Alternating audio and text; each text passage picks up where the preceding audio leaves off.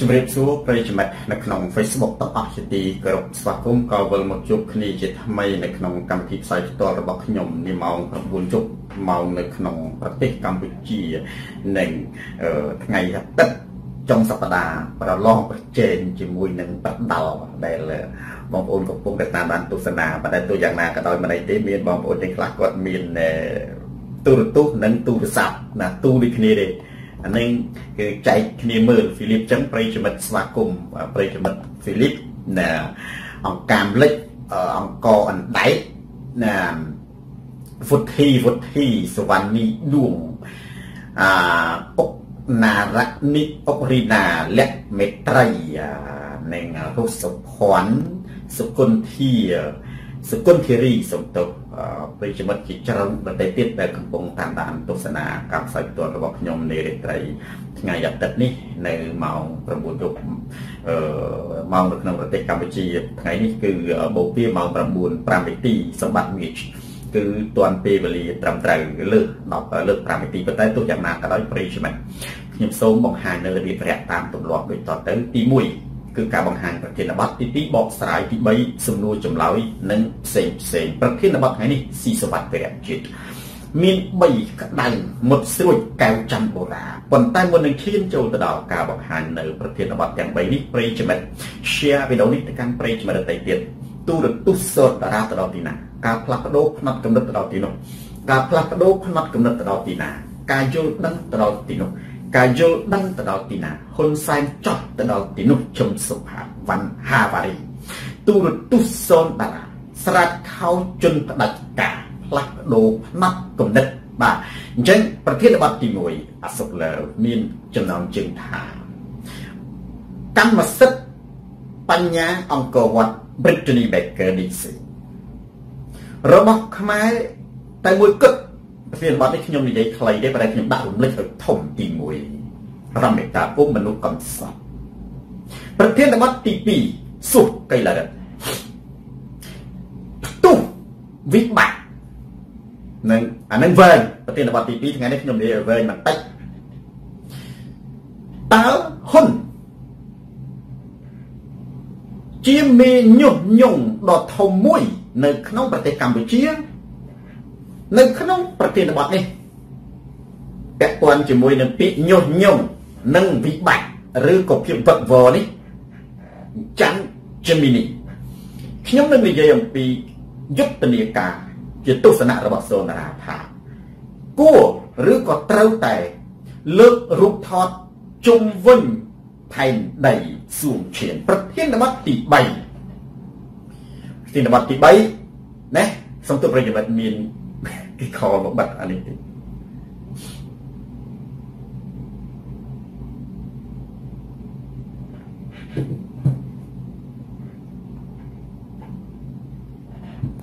បាទសំទោសដល់ប្រមាណមិញប្រធានបទទី2រុស្សពប្រធានបទទី3គោងៀតបើហ៊ុនសែនថាទេវតាឆៃគោងៀតចូលយើងទាំងអស់គ្នារ៉ាន់បូពីសាត្រី ហេតុអ្វីពីព្រោះប្រិយមិត្ត share វីដេអូនេះទៅកាន់ប្រិយមិត្តដទៃទៀតទូរទស្សន៍សូនតាស្រាត់ខោជន់ផ្ដាច់ការផ្លាស់ប្ដូរផ្នត់កំណត់ ថ្ងៃនេះមានគ្រឿងក្លែងតែមួយទេដោយសារតែប្រធានបទ3ហើយដោយដែលខ្ញុំបានលើកឡើងប្រធានបទទី1ខ្ញុំនឹងនិយាយខ្លីបន្តិចប្រធានបទទី2វែងសៅសវត្ថីនិងប្រធានបទទី3ខ្លីសង្ឃឹមថាថ្ងៃនេះខ្ញុំនឹងបានចូលទៅដល់វគ្គចុងក្រោយសំណួរចម្លើយនិងបញ្ហាផ្សេងផ្សេងតែមុនសារជាថ្មីម្ដងទៀតប្រិយមិត្តមុននឹងឈានចូលទៅដល់គ្រឿងខ្លែង share វីដេអូនេះទៅកាន់ប្រិយមិត្តដទៃទៀតទូរទស្សន៍សនតារាស្រាប់ខោជន់ផ្ដាច់ការផ្លាស់ប្ដូរផ្នត់គំនិត គ្រឿងខ្លែងមានតែមួយគឺបងប្អូនយើងសូមឲ្យខ្ញុំលើកជាតពុកណែឬក៏គ្រឿងខ្លែងមេងកងគេបាន screenshot សារ EDC មានន័យថាអគិសនីកម្ពុជាផ្ញើមកខ្ញុំសុំឲ្យអតិថិជនដែលប្រើប្រាស់ភ្លើង មេតាសន្សំសំចៃសុខសែងប្រធានបទគ្រឿងខ្លែងនេះខ្ញុំបាននិយាយកាលពីម្សិលមិញរឿងណែខ្ញុំគេរំលឹកបន្តិចថាវិបត្តិនៅប្រទេសណាក៏មានដែរប្រទេសវាមិនអាចកើតឡើងលើសពី1ខែទេគេដោះស្រាយភ្លាម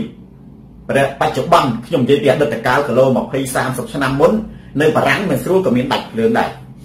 ប៉ុន្តែខ្ញុំនិយាយថាបច្ចុប្បន្ននៅបារាំងអត់មានដាច់ភ្លើងទេខ្ញុំនិយាយឧទាហរណ៍ថា ជាទ្រឹស្ដីទូទៅគឺបញ្ហានិយាយទៅថាទីណាក៏វាមានដែរប៉ុន្តែបើសិនជាបញ្ហានោះវាកើតឡើងទៅជាប្រពៃណីអានឹងវាបញ្ជាក់អំពីសមត្ថភាពអន់ហើយអួតអួតមានន័យថាអត់ម៉ារីបា បងប្អូនដាច់ភ្លើងនេះណាអ៊ីស្មីសុលតាមខ្ញុំគិតតាំងពីឆ្នាំ2000ម្សិលមិញខ្ញុំនិយាយខុស2000រហូតមកដល់បច្ចុប្បន្នជាមួយ24ឆ្នាំ24ឆ្នាំនៅស្រុកនេះបើដាច់តែមួយថ្ងៃស្អែកគេលែងឲ្យដាច់ចាអានេះគេរកវិធីដោះស្រាយភ្លាមបើបងប្អូនត្រកូលហ៊ុននៅតែដឹកនាំប្រទេសដាច់ភ្លើងជាដរាបប្រទេសកម្ពុជាដាច់ភ្លើងរហូតដល់រលាយផែនដី ព្រោះអានឹងវាបញ្ជាក់អំពីសមត្ថភាពណាទេពខនសមត្ថភាពអន់ឬក៏មានដែនកំណត់បងប្អូនចាំមើលបើមិនជឿខ្ញុំមែនទេហើយមានពេលខ្លះប្រយ័ត្នអាគេលេងល្បិចយកអាភ្លើងដាច់ភ្លើងខ្វះដើម្បីជាលេសកាប់ព្រៃឈើធ្វើអាងដើម្បីនេះធ្វើវិរិយអគិសនីអានឹងគោះសម័យហើយវិរិយអគិសនីហ្នឹងលុះសឹមតែនៅនេះគេលែងប្រើហើយគេវិវត្តរហូតដល់ធម្មពលលេងផ្សេងផ្សេងហើយមែនទេយើងត្រូវសួរថាអញ្ចេះ ដូចជាប្រទេសសិង្ហបុរីយើងថាអញ្ចឹងទៅប្រទេសថៃអីណាត្រាប់គុណវិចិត្រសួនប៉ុណ្ណានៃប្រទេសវៀតណាមនៃប៉ុណ្ណានៃតើគេបានភ្លើងពីណាមកយើងចេះឆ្ងល់ណាហ៎តើគេបានភ្លើងពីណាមកចាំឡាឡាំមានន័យថាសត្វសុររៈបើគេអាចធ្វើបានរឿងអីយើងមិនអាចធ្វើបានភ្លើងមិនមែនជារឿងឡើងលើឋានប្រច័នឯណាអាហ្នឹងហើយវាឆ្លុះបញ្ចាំងពីសមត្ថភាពបងប្អូនសមត្ថភាពទៅអត់រួចទេ ប៉ុន្តែចំណុចតែដែលខ្ញុំលើកយកមកធ្វើគ្រឿងក្លែមអានេះខ្ញុំរំលឹកសារដើមនេះចំណុចគេសូមឲ្យសន្សំសំចៃពូសវណ្ណាពេលនោះបងប្អូនយើងក៏បាន screenshot ឬក៏ short screen សារហ្នឹងយកមកផ្ញើខ្ញុំសូមទៅពួកថាលោកគ្រូត្រូវឆ្លើយតបយ៉ាងដូចម្ដេចខ្ញុំនឹងយកទៅ comment នៅក្នុងទំព័ររបស់ EDC ឬក៏សរសេរជាអត្ថបទផ្សេងផ្សេងណែចង់បានកំណត់លោកគ្រូខ្លះខ្ញុំនិយាយថា មានសន្សំឯណាបើអត់ភ្លើងមកផងមនុស្សសន្សំតើតែរបស់មានមកបុនមិនមនុស្សមិនអាចសន្សំអ្វីដែលគ្មានបានទេឥឡូវយើងថាអេសន្សំក៏បានដែរពេចផាន់ប៉ុន្តែឲ្យភ្លើងនោះវាមកសិនមកបលយោរំវិតាអ៊ុំហើយចូលសំរឿងអីបើអត់មានភ្លើងមួយថ្ងៃវល់និយាយបងប្អូនណាខ្ញុំត្រឡប់ទៅខាងដើមវិញ អានឹងបើតែចម្លើយខ្ញុំឆ្លើយខ្លីទៅកាន់បងប្អូនតពួកទៅកាន់ EDC ថាអេគេចាំតែសំនេះតើប៉ុន្តែឥឡូវឲ្យសំនេះណាបើអត់មានភ្លើងសំបងហ្នឹងឲ្យភ្លើងសិនមកបើថ្ងៃលេងដាច់8ម៉ោងអីវ៉ាន់ហើយបងប្អូនឥឡូវខ្ញុំត្រឡប់ទៅវិញអំបញ្ញនេះខ្ញុំនិយាយអំពីសមត្ថភាពរឿងហ្នឹងមានបញ្ហាវាចូលជិត30ឆ្នាំហើយវាដោះអត់ចេញណាមាននេះបញ្ជាក់អំពីខួរក្បាលមន់មិនសមមិញកុំឲ្យដូរពាក្យមិនសមមិញយើងថាខួរក្បាលមន់បើនេះមនុស្សអត់មាន អត់មានបញ្ញាជាខួរក្បាលអ្នកប្រាជ្ញដូចសូនតារាទេសតិសម្បញ្ញា dealer pitch ជាមួយណាឥឡូវយើងត្រឡប់មកទៅនេះគឺយើងវាអត់មានភ្លើងសន្សំហើយខ្ញុំត្រឡប់ទៅរំលឹកនៅពាក្យដែលសំខាន់ណាស់មកបពីវ៉ាន់ឌីភ្លើងណាបងប្អូនសន្តារាស័យចន្ទរាស័យគឺជាអាយុជីវិតនៅស្រុកអឺរ៉ុបវិទ្យាបើសិនជាគេមានទស្សនៈដូចនៅខ្មែរយើងខ្មែរយើងគេថាអញ្ចឹង ពេលអាកាសធាតុក្តៅខ្លាំងតម្រូវការភ្លើងខ្ពស់ភ្លើងប្រើអត់គ្រប់ដាច់ភ្លើងអឺរ៉ុបបើសិនជាមានទស្សនៈអញ្ចឹងពេលដែលអាកាសធាតុត្រជាក់ខ្លាំងក្រោម10ដក0ណាបងប្អូនភ្លើងប្រើអត់គ្រប់ដាច់ភ្លើងងាប់បាត់បងប្អូននៅអឺរ៉ុបដាច់អីដាច់ចឹងមិនដាច់ភ្លើងខែត្រជាក់ខែត្រជាក់ហាមរឿងមួយ គឺហាមដាច់ភ្លើងដាច់ភ្លើងងាប់បងប្អូនអញ្ចឹងខ្ញុំត្រឡប់ទៅវិញអាមិនអាកាសធាតុដែលសម្រាប់មនុស្សមានពីរបងប្អូនអីគេរលកត្រជាក់រំដាកឹម និងរលកកម្ដៅអាពីរនេះអាចសម្រាប់មនុស្សបានដូចគ្នាគ្រាន់តែអារលកកម្ដៅសម្រាប់មនុស្សសាហាវជាងរលកត្រជាក់អារលកត្រជាក់នេះណានិងអារលកកម្ដៅនេះណាអាពីរនេះវាជាឃាតករអញ្ចឹងនៅស្រុកនេះពេលដែលអាកាសធាតុកាន់តែជាក់ភ្លើងទៅតែមានភ្លើងទៅតែមានគ្រាន់តែគេឲ្យយើងសន្សំចៃកុំឲ្យប្រើរបស់អីផ្សេងផ្សេងកុំឲ្យបើកចោលកុំឲ្យបើកប្រអួច បើសុំនេះគេប្រាប់រត់ទៅផ្ទះខ្ញុំនេះគេប្រាប់ថាកុំឲ្យបើកប្អួយពោះប្អួយទៅវាអាចថាមកពុលវាអស់ច្រើនណាវាវាទាញគេទាញឯងចឹងទៅអញ្ចឹងបើសិនជាតិចហើយដាច់ភ្លើងងាប់នៅកម្ពុជាដូចគ្នាបើសិនជាភ្លើងអាកាសធាតុកាន់តែក្តៅមានន័យថាម៉េចមនុស្សត្រូវការភ្លើងត្រូវការអគិសនីបើដាច់អគិសនីងាប់នៅកម្ពុជាមានស្លាប់បងប្អូនស្រាវជ្រាវមានស្លាប់តើគេអត់ងាប់នេះស្រឡាញ់ចិត្តសាសនាចឹងខ្ញុំចង់និយាយថា បើនៅអឺរ៉ុបភ្លើងប្រើអត់គ្រប់អាកាសធាតុត្រជាក់ត្រូវតែផ្ដាច់ងាប់មនុស្សសម្រាប់មនុស្សអានឹងទៅជាឃាតកររដ្ឋាភិបាលជាឃាតករបើសិនជាអាកាសធាតុក្តៅមនុស្សប្រើភ្លើងអត់គ្រប់ត្រូវផ្ដាច់មិនងាប់ចុះអ្នកខ្លះបងប្អូនមនុស្សយើងសឹកធ្វើការអានឹងក៏ប៉ះពាល់ដល់សេដ្ឋកិច្ចនិងនិងសុខភាពមនុស្សសំខាន់ណាស់ឥឡូវខ្ញុំឧទាហរណ៍ថាមនុស្សជួបឡើងមិនត្រូវការគេមនុស្សពេលថ្ងៃអីដាច់ភ្លើងស្អីប្រហែលនេះលអ៊ូចេញមកជជែកគ្នានៅក្រៅផ្ទះបក់ផ្លិត អើក្បាលល្មើមល្មើមសោតដាក់គ្នាចឹងទៅអ្នកខ្លះមានម៉ាស៊ីនភ្លើងក៏មានទៅខ្លះអត់អីក៏អត់ទៅធ្វើល្មិចល្មាក់មុខផ្ទះរត់លេងណាប៉ុន្តែបើកដាលជួបបងប្អូនចាប់ពីម៉ោង12មានកន្លែងខ្លះលេងដាច់ពីម៉ោង11រហូតទល់ភ្លឺម៉ោង11រហូតទល់ភ្លឺបងប្អូនត្រូវគិតថាអ្នកនឹងបលឹមឡើងវាត្រូវធ្វើការការងារមិនលើកលែងទេណាមនុស្សបើទៅដេកនៅតាណាម្នាក់ថ្ងៃឡើងមនុស្សអាចចេញមកក្រៅផ្ទះបោះផ្លិតទេបានវាជប់ឡើងណាសាឡេសមហាមាតកម្មឲ្យគ្នាទៅគេងនៅឯណាងាប់បងប្អូនណា មនុស្សមិនអាចមកគេងនៅក្រៅមុខខំបានទេអញ្ចឹងវាត្រូវអត់គេងវាខូចសុខភាពវាទៅធ្វើការកើតអានឹងគេសិក្សាទៅលើផលគណិតវិទ្យាបងប្អូនណាគេហៅថា possibility probability អានឹងភាសាអង់គ្លេស possibility probability មនុស្សដែលអត់បានគេងវាអាចកើតហានិភ័យគឺអាចដួលសម្លាប់អាចធ្វើដំណើរទៅមានគ្រោះថ្នាក់ចរាចរណ៍ពវៀនស្មារតីអាចទៅធ្វើការទៅមានគ្រោះថ្នាក់ការងារបើនេះអាចមនុស្សអត់មានកម្លាំងកំហែងខូចសេដ្ឋកិច្ច សម្រាប់ខួរក្បាលមនុស្សសម្រាប់មនុស្សច្រើនណាស់អញ្ចឹងបានទីខ្ញុំលើទៅរំលឹករឿងថាមនុស្សត្រូវការភ្លើងបំផុតនៅពេលណាប្រទេសជាតិខ្មែរអានេះអមតៈនៅក្នុងប្រទេសត្រជាក់មនុស្សត្រូវការភ្លើងបំផុតពេលវាត្រជាក់ខ្លាំងព្រោះបើអត់វាងាប់ចុះនៅក្នុងប្រទេសក្តៅប្រទេសក្តៅណាម៉ាយ៉ាងផាងមនុស្សត្រូវការភ្លើងបំផុតនៅពេលណាមនុស្សត្រូវការភ្លើងបំផុតពេលដែលវាក្តៅពីព្រោះមនុស្សត្រូវការដេកមែនទេបើសិនជាវាក្តៅ ហើយដេកមិនបានបងប្អូននៅក្រុងភ្នំពេញកាលលេងដាច់មកជំនាញក្រុងភ្នំពេញបញ្ជាក់ថាមនុស្សឈឺមកក្រុងភ្នំពេញពាក់កណ្ដាលក្រុងភ្នំពេញជាសាដាច់ពេលយប់ខ្ញុំសួរឲ្យទៅដេកនោះណាឥឡូវចេះដើម្បីដំចង់ដឹងថាអានឹងវាវាយ៉ាងម៉េចផ្ដាច់ផ្ទះហ៊ុនសែនម្ដងមែនផ្ដាច់មានបងប្អូនណានៅខ្ញុំនិយាយរឿងទៅនេះមួយ នៅក្នុងសាសនាខ្លះគេបង្អត់អាហាររយៈពេលមួយខែ បងប្អូនអានោះមានអត្តន័យល្អណាចង់ឲ្យមនុស្សនឹងស្មើភាពណាឲ្យយល់ថាអាការដែលអត់ឃ្លាននេះវាយ៉ាងម៉េចប៉ុន្តែឥឡូវដូចវាមិនសូវយុត្តិធម៌ដែរដោយសារដោយសារណែអត់ហូបបាយថ្ងៃមែនប៉ុន្តែយប់ឡើងអ្នកមានគេហូបច្រើនណែអ្នកមានលេងហូបឯងមកទំហឹងអញ្ចឹងអាមកហូបហ្នឹងហូបម្ដងស្មើអត់ហូប2ថ្ងៃក៏បានអាកាឡូរីនេះវាគ្រប់ណាប៉ុន្តែបើអ្នកក្រអត់ដដែលឬចាប់ដដែលប៉ុន្តែទោះយ៉ាងណាក៏ដោយវាមានអត្តន័យល្អតែមានអត្តន័យល្អចង់ថាអញ្ចេះ មនុស្សយើងអត់បាយទាំងអស់គ្នាអត់ហូបអាហារទាំងអស់គ្នារយៈពេលមួយខែមើលអានឹងគឺវាស្គាល់បងប្អូនឲ្យស្គាល់ទៅអានឹងហូបអីក៏ដោយអត់ហូបបាយអត់ហូបទឹកតាំងពីថ្ងៃរះតាំងពីមុនថ្ងៃរះរហូតដល់ថ្ងៃលិចនេះជាហៅតាអានឹងគឺវាល្អសម្រាប់មនុស្សទាំងអស់បានសាករសជាតិបានសារសជាតិគេឲ្យមនុស្សសាមគ្គីគេឲ្យមនុស្សនឹងស្គាល់ពីភាពអត់ឃ្លានគេឲ្យមនុស្សស្គាល់ពីភាពក្រខ្សត់ គេឲ្យមនុស្សស្គាល់ពីភាពវេទនាលំបាកគេឲ្យភ្លេចទេបងប្អូនគេត្រូវជួនកាលអ្នកមានខ្លះវាអត់ស្គាល់វាអត់ស្គាល់អត់ឃ្លានវាដឹងណាបងប្អូនអាកន្លែងនេះល្អណាខ្ញុំថាល្អអាកន្លែងមានសាសនាខ្លះគេអត់អាហារមួយខែទាំងអស់គ្នាមួយថ្ងៃហ្នឹងគឺថានេះពូកាហេនគឺគេអត់បាយហ្មងគេអត់បាយទាំងអស់គ្នាអានឹងដើម្បីអីទេអានឹងនៅក្នុងសាសនាអ៊ីស្លាមគឺដើម្បីឲ្យមនុស្សនឹងវាស្គាល់ឥឡូវយើងមើលហ៊ុនសែនផ្ដាច់ភ្លើងតែហ៊ុនសែនមួយថ្ងៃមើលផ្ដាច់មើល ហ៊ុនសែនមិនជាគេផ្ដាច់ធ្វើឲ្យស្មើភាពធ្វើឲ្យយុត្តិធម៌ដូចដូចនៅក្នុងសាសនាអ៊ីស្លាមធ្វើឲ្យយុត្តិធម៌មើលឲ្យមនុស្សអាអ្នកតូចក៏ដោយអាអ្នកធំក៏ដោយអត់បាយទាំងអស់គ្នាអានេះឲ្យដឹងរសជាតិវាចិត្តសួនម៉ែនបញ្ញាឲ្យវាស្គាល់ថាអាលំបាកអាអត់ឃ្លានអាក្រីក្រនឹងវាយ៉ាងម៉េចមនុស្សអត់បាយនោះឲ្យវាស្មើភាពចែកគ្នាចែកគ្នាយកឥឡូវបដាច់ភ្លើងផ្ទះហ៊ុនសែនមើល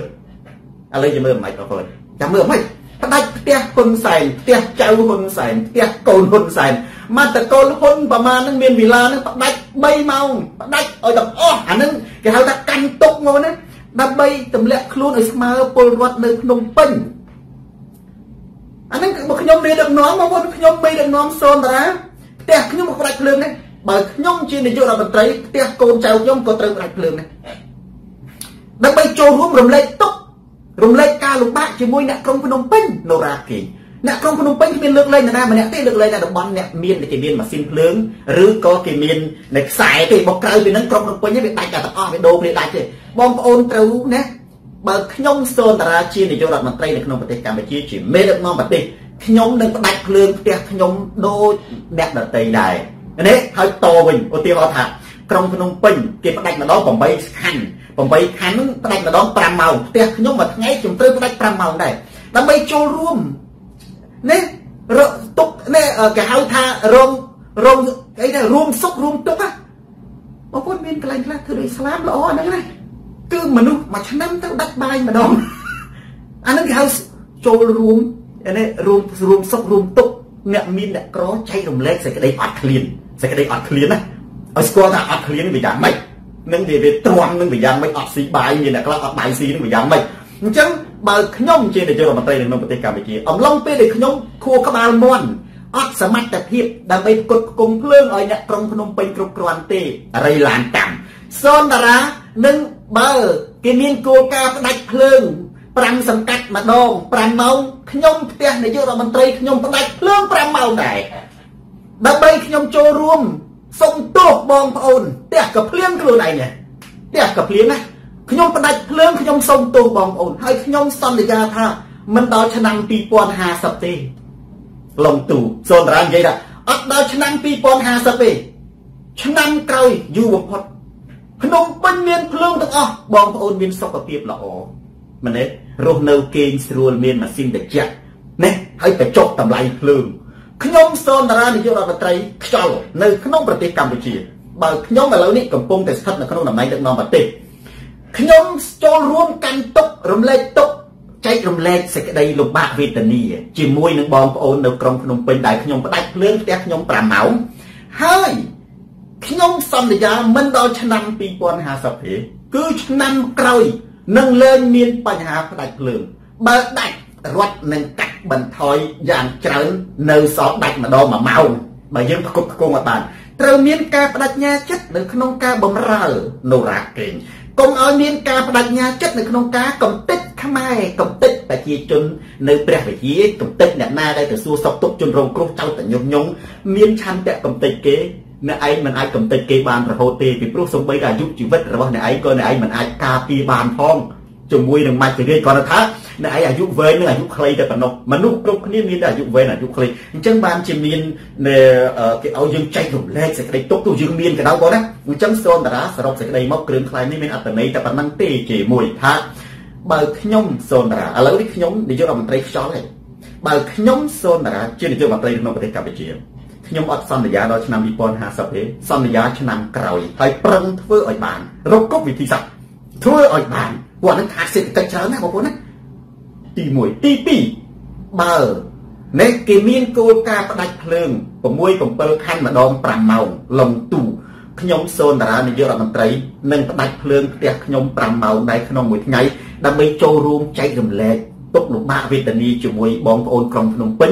និងខ្ញុំសូមសុំទោសដែលខ្ញុំជាមេដឹកនាំលើកដៃសាពះណាសូមទោសដែលខ្ញុំជាមេដឹកនាំមិនអាចបំរើបងប្អូនបាន គឺបានតែយកខ្នោះកវីកាត់មុខផ្ទះបងប្អូនណាដែលមិនសរសើរខ្ញុំអានេះសូនតារា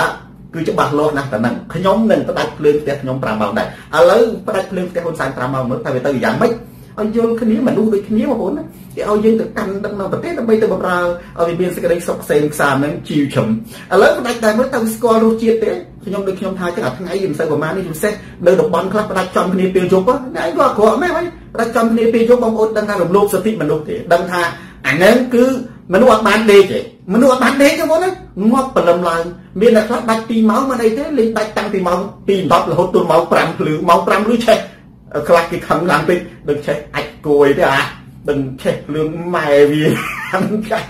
ខ្លះទ្រាំបានពេកថាអញ្ចឹងអាមិនដល់ម៉ោងធ្វើការម៉ោង12ដើរជពុកអ្នកខ្លះធ្វើការនៅធនាគារផងអាហ្នឹងអាហ្នឹងកុសណាណាចុចលុយខុស ដកលុយឲ្យអតិថិជនខុសបាត់ធនាគារសងដេញចិត្តការងារអ្នកខ្លះស្គួតដាច់ភ្លើងនឹងតែម្ដងប៉ុន្តែខ្ញុំនៅជឿថាអញ្ចេះនៅក្នុងប្រទេសកម្ពុជាច្បាស់ជាមានអ្នកស្លាប់ដោយសារដាច់ភ្លើង100%មែនទេគ្រាន់តែគេអត់រាយការណ៍ប្រិយចំណិត share វីដេអូនេះទៅកាន់ប្រិយចំណិតដទៃទៀតទូរទស្សន៍សូនតារាស្រាត់ខោជន់ផ្ដាច់ការផ្លាស់ប្ដូរផ្នែកកំណត់ប្រធានបទទី1ក្តៅប្រធានបទទី1នេះខ្ញុំនិយាយ នៃរំលឹកឲ្យវាច្បាស់ហើយខ្ញុំសូមស្នើទៅរដ្ឋាភិបាលនៃរបបហ៊ុនពិចារណារឿងនេះមិនមែនជារឿងលេងសើចមិនមែនជារឿងផលប្រយោជន៍បុគ្គលមិនមែនជារឿងផលប្រយោជន៍គ្រួសារនរណាម្នាក់ទេជារឿងប្រទេសជាតិកម្ពុជារមេតាបងខ្ញុំមិនចង់និយាយឈ្មោះប្រទេសណាទេខ្ញុំនិយាយនឹងបងប្អូនយល់ហើយឃើញបរទេសចិត្តខាងយើងខ្លះ គេខ្ញុំយោងតាមទំព័រ Facebook សំទុកយើងយោងមុនដែលយើងបានដំណឹងពីណាមកយោងតាមទំព័រ Facebook គេចែកចាយគ្រប់គ្រប់គ្នាស្ទើរតែគ្រប់គ្នាចិនដាកឹមនិយាយអំពីបរទេសចិត្តខាងខ្លះតែងរូបអប្សរាឬក៏តែងរូបទេពអប្សរបើយើងនិយាយឲ្យខ្លីទៅអប្សរា ដែលមានរចនាបថម៉ូដដូចទៅនឹងអប្សរានៃប្រាសាទអង្គរវត្ត100% ហើយនិយាយថាជីវបធម៌របស់ខ្លួន ដោយដាក់ទៅអង្គការ UNESCO អានឹងអត់បានទេរឿងអីផ្សេងចម្លងអង្គរវត្តនេះខ្ញុំមិនដឹងរឿងហ្នឹងរឿងហ្នឹងងាប់មកប៉ុណ្ណាបន្តិចម្ដងបន្តិចម្ដងកម្ពុជាយើងអាឡ័យតែលើកដំកើង7មករាណាអាឡ័យតែលើកដំកើងកំណើតគណៈបព្វជិជនកំណើតគណៈអានឹងទុកម្លាយកំណើតគណៈបព្វជិជនហ្នឹងបាញ់និយាយទេឃើញទេ អាឡ័យតែលើកដំកើងកំណើតគណៈបកប្រជាជនអាឡ័យតែលើកដំកើងជូនពោហ៊ុនសែនណាអាឡ័យតែដើរជូនដាក់ឈ្មោះហ៊ុនសែនតាមស្ពានតាមបរិយាយន្តហោះអាឡ័យតែដាក់ឈ្មោះហ៊ុនសែនតាមបលាយលូទឹកស្អុយអាឡ័យតែលើកដំកើងងារហ៊ុនម៉ាណែតអាឡ័យតែខ្វល់រឿងងារណាបងណាខ្មែរយើងថ្ងៃអនាគតទៅប្រវត្តិសាស្ត្របងប្អូនណាហ៊ុនសែនគាត់ដឹងច្បាស់ណាអ្នកឈ្នះសរសេរប្រវត្តិសាស្ត្រណាប្រវត្តិសាស្ត្រដំបូងវាคล้ายคล้ายទេរបស់ហ្នឹងបើគាត់ថាគេនិយាយឲ្យចូលទៅក្នុងគួរក្បាលមនុស្សទៅមនុស្សជឿថាគេប៉ិនតែដូចជាបរទេសខ្លះមួយចំនួន គេយកនេះអវត្តធម៌របស់យើងហ្នឹងវាគេលួចរបស់យើងទេគេខ្លែងខ្លាយទេប៉ុន្តែគេបង្រៀនកូនគេតាំងពីតូចមកអាកូនគេវាជឿតែអញ្ចឹងបងប្អូនវាជឿតែអញ្ចឹងអត់បានទេមែនទេកម្មសិទ្ធិបញ្ញាត្រូវប្តឹងប្រាប់ថាអត់អាចធ្វើបានទេបើខ្ញុំជារដ្ឋាភិបាលហេតុអីបងប្អូនបើអ្នកឯងធ្វើអ្នកឯងត្រូវដាក់ប្រភពបានមែនទេត្រូវដាក់ប្រភពបានដូចទួយហ្វេ របស់បារាំងគេចង់ធ្វើនៅប្រទេសណាក៏បានដែរប៉ុន្តែគេដឹងថាហ្នឹងណាប្រភពនៅស្រុកបារាំងគេគ្រាន់តែធ្វើលំអតូចអត់ឲ្យធំជាងទីអត់មានឲ្យធំដូចនៅស្រុកបារាំងបានទេតែដូចនៅស្រុកខ្មែរក៏អាចធ្វើបាននៅអាមេរិកនៅអាមេរិកនៅនៅ Los នៅ Las Vegas ខ្ញុំទៅក៏មានទូ Eiffel គាត់តូចមួយសម្រាប់គាត់ជាតំណាងថា Las Vegas ហ្នឹងគឺជាទីក្រុងទំនើបចម្រុះជាតិសាសន៍អញ្ចឹងទៅមកពីវប្បធម៌ចម្រុះអញ្ចឹងទៅប៉ុន្តែណាបងប្អូន ចំណុចនេះមួយមិនបានដាច់ខាតបើពុនមិនឯងគាត់រវល់រឿងអីផ្សេងសូនតារានាយករដ្ឋមន្ត្រីខ្យល់មិនបានដាច់ខាតកម្មសិទ្ធិបញ្ញាបងប្អូនណាមិនអាចតែឯងទៅយករូបអប្សរាខ្មែរទៅតែងដូចទាំងអស់ដូចអាអ្នកឯងមាននេះខុសតាមឥឡូវပြောថាអេអានឹងអ្នកឯងនិយាយប្រាប់កូនចៅថាអតីតកាលជារបស់អ្នកឯងអតីតកាលជារបស់អ្នកឯងមែនតែឥឡូវជារបស់អញឧទាហរណ៍តែអញ្ចឹង បើអានឹងជារបស់យើងទេបើតែមិនចង់និយាយថាអតីតកាលជារបស់អ្នកឯងមែនតែអានឹងជារបស់អញយើងមិនអាចទៅនិយាយចឹងបានទេសំខាន់វាស្ថិតនៅលើទងជាតិរបស់យើងឡុងសូផោះផូលីអែនហើយវាស្ថិតនៅក្នុងខេត្តសៀមរាបនៅលើទឹកដីកម្ពុជាអារបស់ទាំងអស់ហ្នឹងរូបផ្ទាំងចម្លាក់រូបអប្សរាដែលមានគំនូភ័ស្តុតាងឲ្យច្បាស់ច្បាស់តឡែករូបពុំរូបចម្លាក់ឯងផ្ទាំងពេញពេញកវត្តបែរជាមានប្រទេសមួយគេយកអាហ្នឹងទៅឆ្លាក់ទៅពាក់ តែងឲ្យដូចទៅដាក់សំណើចូលទៅអង្គការ UNESCO ថានឹងជារបស់អញមិនបានដាច់ខាតមិនបានទេអ្នកឯងមានអីសំហាងអ្នកឯងដាក់បានប៉ុន្តែទៅដាក់ប្រភពអានេះខ្ញុំចង់និយាយចេះពួករបស់វប្បធម៌យើងមិនអាចហាមឃាត់អ្នកណាបានទេរបាំសិល្បៈវាមានឥទ្ធិពលប៉ុន្តែត្រូវដាក់ប្រភពបងប្អូននេះត្រូវដាក់ប្រភព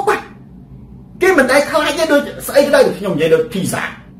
ភីសានៅបងប្អូននឹងប្រភពមកពីណាទេតំរំ ប្រភពមកពីអ៊ីតាលីសម្រាប់អាមេរិកដែរគេមិនដែរអាហ្នឹងក្រុមហ៊ុនអាមេរិកដល់ល្បីដល់គេថាកូគេថាហ្នឹងមកពីអ៊ីតាលីទៅដូចជា Pesta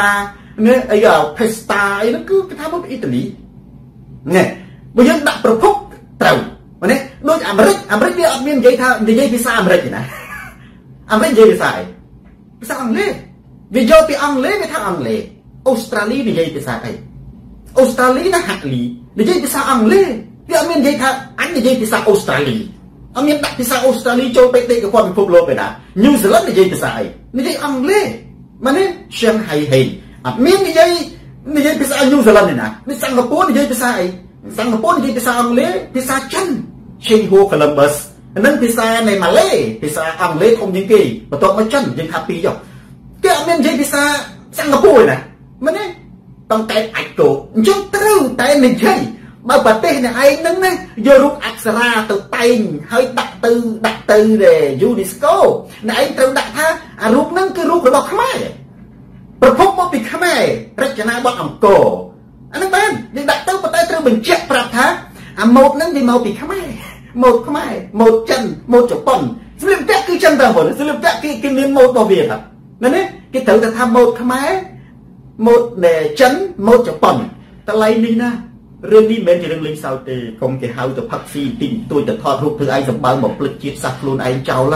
អានឹងអត់បានទេថ្ងៃនេះសូនតារាសូមប្រកាសដាច់ខាតអត់អាចធ្វើអញ្ចឹងបានទេនាយករដ្ឋមន្ត្រីខ្យល់សូមប្រកាសដាច់ខាតថាប្រាសាទអង្គរវត្តរូបទេពអប្សររូបអប្សរាទាំងឡាយណា ដែលមានឆ្លាក់នៅលើផ្ទាំងប្រាសាទអង្គរវត្ត ប្រទេសណាមិនអាចចម្លងថាជារបស់ខ្លួនឯងបានទេប៉ុន្តែអាចយកទៅសម្ដែងថាជាប្រភពរបស់ខ្មែរបានយកទៅសម្ដែងលើឆាកលេងបានសម្ដែងកំសាន្តលេងបានតាក់ទាញភ្ញៀវទេសចរអានេះអីបានប៉ុន្តែបើថាវាទៅជាវត្តធម៌ដាក់ចូលជាបេតិកភណ្ឌថាជារបស់អញអត់បានដាច់ខាតតវ៉ាដាច់ក្បាលចោលខ្ញុំនិយាយមែនទេលៀងពេញឡាយអត់មានលេងសើចទេរឿងហ្នឹងងាប់មកពុទ្ធយើងងាប់ខ្មែរយើងទាំងជាគេងាប់ពុយយូរទៅមែនទេ នៅប្រទេសណាក៏ដោយគឺយើងកុំថាតែប្រទេសខ្មែរសាសូនតារានិយាយទៅប្រកាន់អត់ទេឥឡូវយើងយើងទៅយករបស់នៃចិនអីវាថាយើងដាក់ទៅនេះមិនបានណាយើងទៅយកអេស៊ីកទៅដាក់មកមិនបានរចនាយើងទៅយករបស់ឥណ្ឌាមកដាក់មកថាជាទៅជារបស់យើងមិនបាន យើងយកយើងទៅថាមកពីឥណ្ឌាបានបងប្អូនណាយើងត្រូវតែបដិងនឹងតវ៉ារាល់ប្រទេសណាដែលដូចខ្ញុំនិយាយបើសម្ដែងជាសិល្បៈកំសាន្ត យកទៅថតកុនអីបានព្រោះអានឹងជាវប្បធម៌ជារបស់ពិភពលោកទេតាអ្នកណាអាចយកបានខ្មែរយើងយកពីអឺរ៉ុបណាអីអឺរ៉ុបយកពីខ្មែរយើងបានដែរប៉ុន្តែកុំថាជារបស់ខ្លួនឯងតែប៉ុណ្្នឹងទេបុផាប្រេចទៅហើយណាត្រូវត្រួតពិនិត្យនៅណាដែលទៅតែងរូបនៅប្រទេសចិត្តខាងក៏ដោយប្រទេសណាក៏ដោយម៉ែនបញ្ញាដែលយកគំនូដូច ទៅនឹងតម្រងអប្សរាអង្គរវត្តបេះបិទដូចទាំងអស់មិនបានទេជន់តាមិនបានទេបើអ្នកឯងគឺជាខ្មែរមិនមែនជាខ្មាំងបើអ្នកឯងជាគុលបុត្រស្នេហាជាតិមិនមែនជាជនក្បត់ជាតិអានឹងគឺជាអាយុជីវិតរបស់ខ្មែរមិនបានទេ អ្នកណាមិនអាចដោយដែលខ្ញុំលើកឡើងថាអាចយកជាសម្ដែងបាន ជាសម្ដែងកំសាន្តភាពយន្តសិល្បៈតាក់ទាញមនុស្សអីបានប៉ុន្តែបើថាជារបស់អ្នកឯងហា ទៅបន្លំហើយទៅតែងចម្លាក់គូមុខគូមាត់ស្លៀកពាក់អីអាមកុដអាមកុដអប្សរាហ្នឹងឲ្យដូចទៅនឹងប្រាសាទអង្គរវត្តហើយថាជារបស់អ្នកឯងលុបចោលព្រាមប្រិយមិត្ត share វីដេអូនេះទៅកាន់ប្រិយមិត្តដទៃទៀតម៉ៃជីងជីងទូរទស្សន៍សូនតារាស្រាប់ខោជន់ផ្ដាច់ការផ្លាស់ប្ដូរផ្នែកកំណត់បាត់ដបងស្រុកកំណត់ខ្ញុំ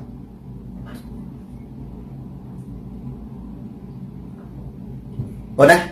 អានឹងខ្ញុំបើខ្ញុំដឹកនាំប្រទេសខ្ញុំនឹងកល់ផលប្រយោជន៍ជាតិខ្មែរជាតិកម្ពុជាធំជាងអ្វីអ្វីទាំងអស់មកស៊ីលីស៊ុយប្រធានបទទី2ផ្ទុះវឹកវរឬក៏ផ្ទុះវិបត្តិផ្ទុះចលាចលខ្ញុំបានដាក់ចំណងជើងចោតជាសំណួរនៅក្នុងប្រធានបទទី2នេះខ្ញុំនឹងនិយាយវែងបន្តិចចំណងជើងដែលចោតជាសំណួរនោះ នឹងមានពីរចំណុចធំធំលើកយកមកនិយាយនៅពេលនេះទី1ញុះញង់តើនរណាជាមេញុះញង់ធំជាងគេបំផុតនៅក្នុងប្រទេសកម្ពុជាខ្ញុំនឹងបង្ហាញប្រាប់បងប្អូនហើយដល់ចោតជាសំណួរព្រោះអាហ្នឹងនៅក្នុងការសរសេរសរសេរនៃខេត្តកបត់ថ្នាក់បណ្ឌិតឬអនុបណ្ឌិតគេត្រូវមានសំណួរស្រាវជ្រាវមុនហើយបានយើងនិយាយគេទៅស្រាវជ្រាវខំរឹកអេនចែតើហ៊ុន ខ្ញុំចង់សំដៅទៅលើត្រកូលហ៊ុនឬក៏របបហ៊ុនចុះរបបហ៊ុនជាមេញុះញង់ដ៏ធំបំផុតនៅក្នុងប្រទេសកម្ពុជាចំណុចទី2សេរីសុខខ្ញុំថាក្រោកលើករូបជុំវិញផែនដីអាចំណុចនេះខ្ញុំនឹងនិយាយលម្អិតណែនៅនៅចំណុចទី2ដាងខៅឥឡូវចូលចំណុចទី1មុនយោ នៅថ្ងៃនេះខ្ញុំបានឃើញវីដេអូសោកនាដកម្មនៃបុរីមួយចំនួនដូចជាបុរីពិភពថ្មីនិងបុរីដីមាសបានធ្វើបាបណាអតិថិជនឬក៏ម្ចាស់ផ្ទះមានវីដេអូមួយទៀតបង្ហាញអំពីការយកណាគ្រឿងយន្តទៅរឹបអូសដឹកសម្ភារៈចេញពីផ្ទះពីព្រោះបង្ខំបណ្ដេញមនុស្សឲ្យចេញពេលយកសម្ភារៈទៅមនុស្សអត់មានអីប្រើអត់មានអីដេញអត់មានអីនេះ អានឹងគឺជាការព្រៃផ្សៃមួយជាទីបំផុតយោងខ្ញុំយោងទៅលើស្ថានភាពទូទៅសិនមែនទេទី1សរុបឥឡូវយើងនិយាយឲ្យច្បាស់ទី1យោងទៅលើវីដេអូថ្ងៃនេះនៅបុរីពិភពថ្មីនិងបុរីដីមាសដែលបង្ហាញអំពីការតវ៉ាដុតកង់ឡានយោងទី2យោងទៅលើបុរីមួយចំនួនតែថ្ងៃនេះដែលខ្លះគេនិយាយថាពិភពថ្មីឬក៏បុរីដីមាសបានទៅទម្លុះផ្ទះអតិថិជន យកគ្រឿងយន្តទៅខ្វាមអូសយកសម្ភារៈចេញពីផ្ទះដើម្បីបង្ខំឲ្យមនុស្សចេញពីផ្ទះយ៉ាងព្រៃផ្សៃយោង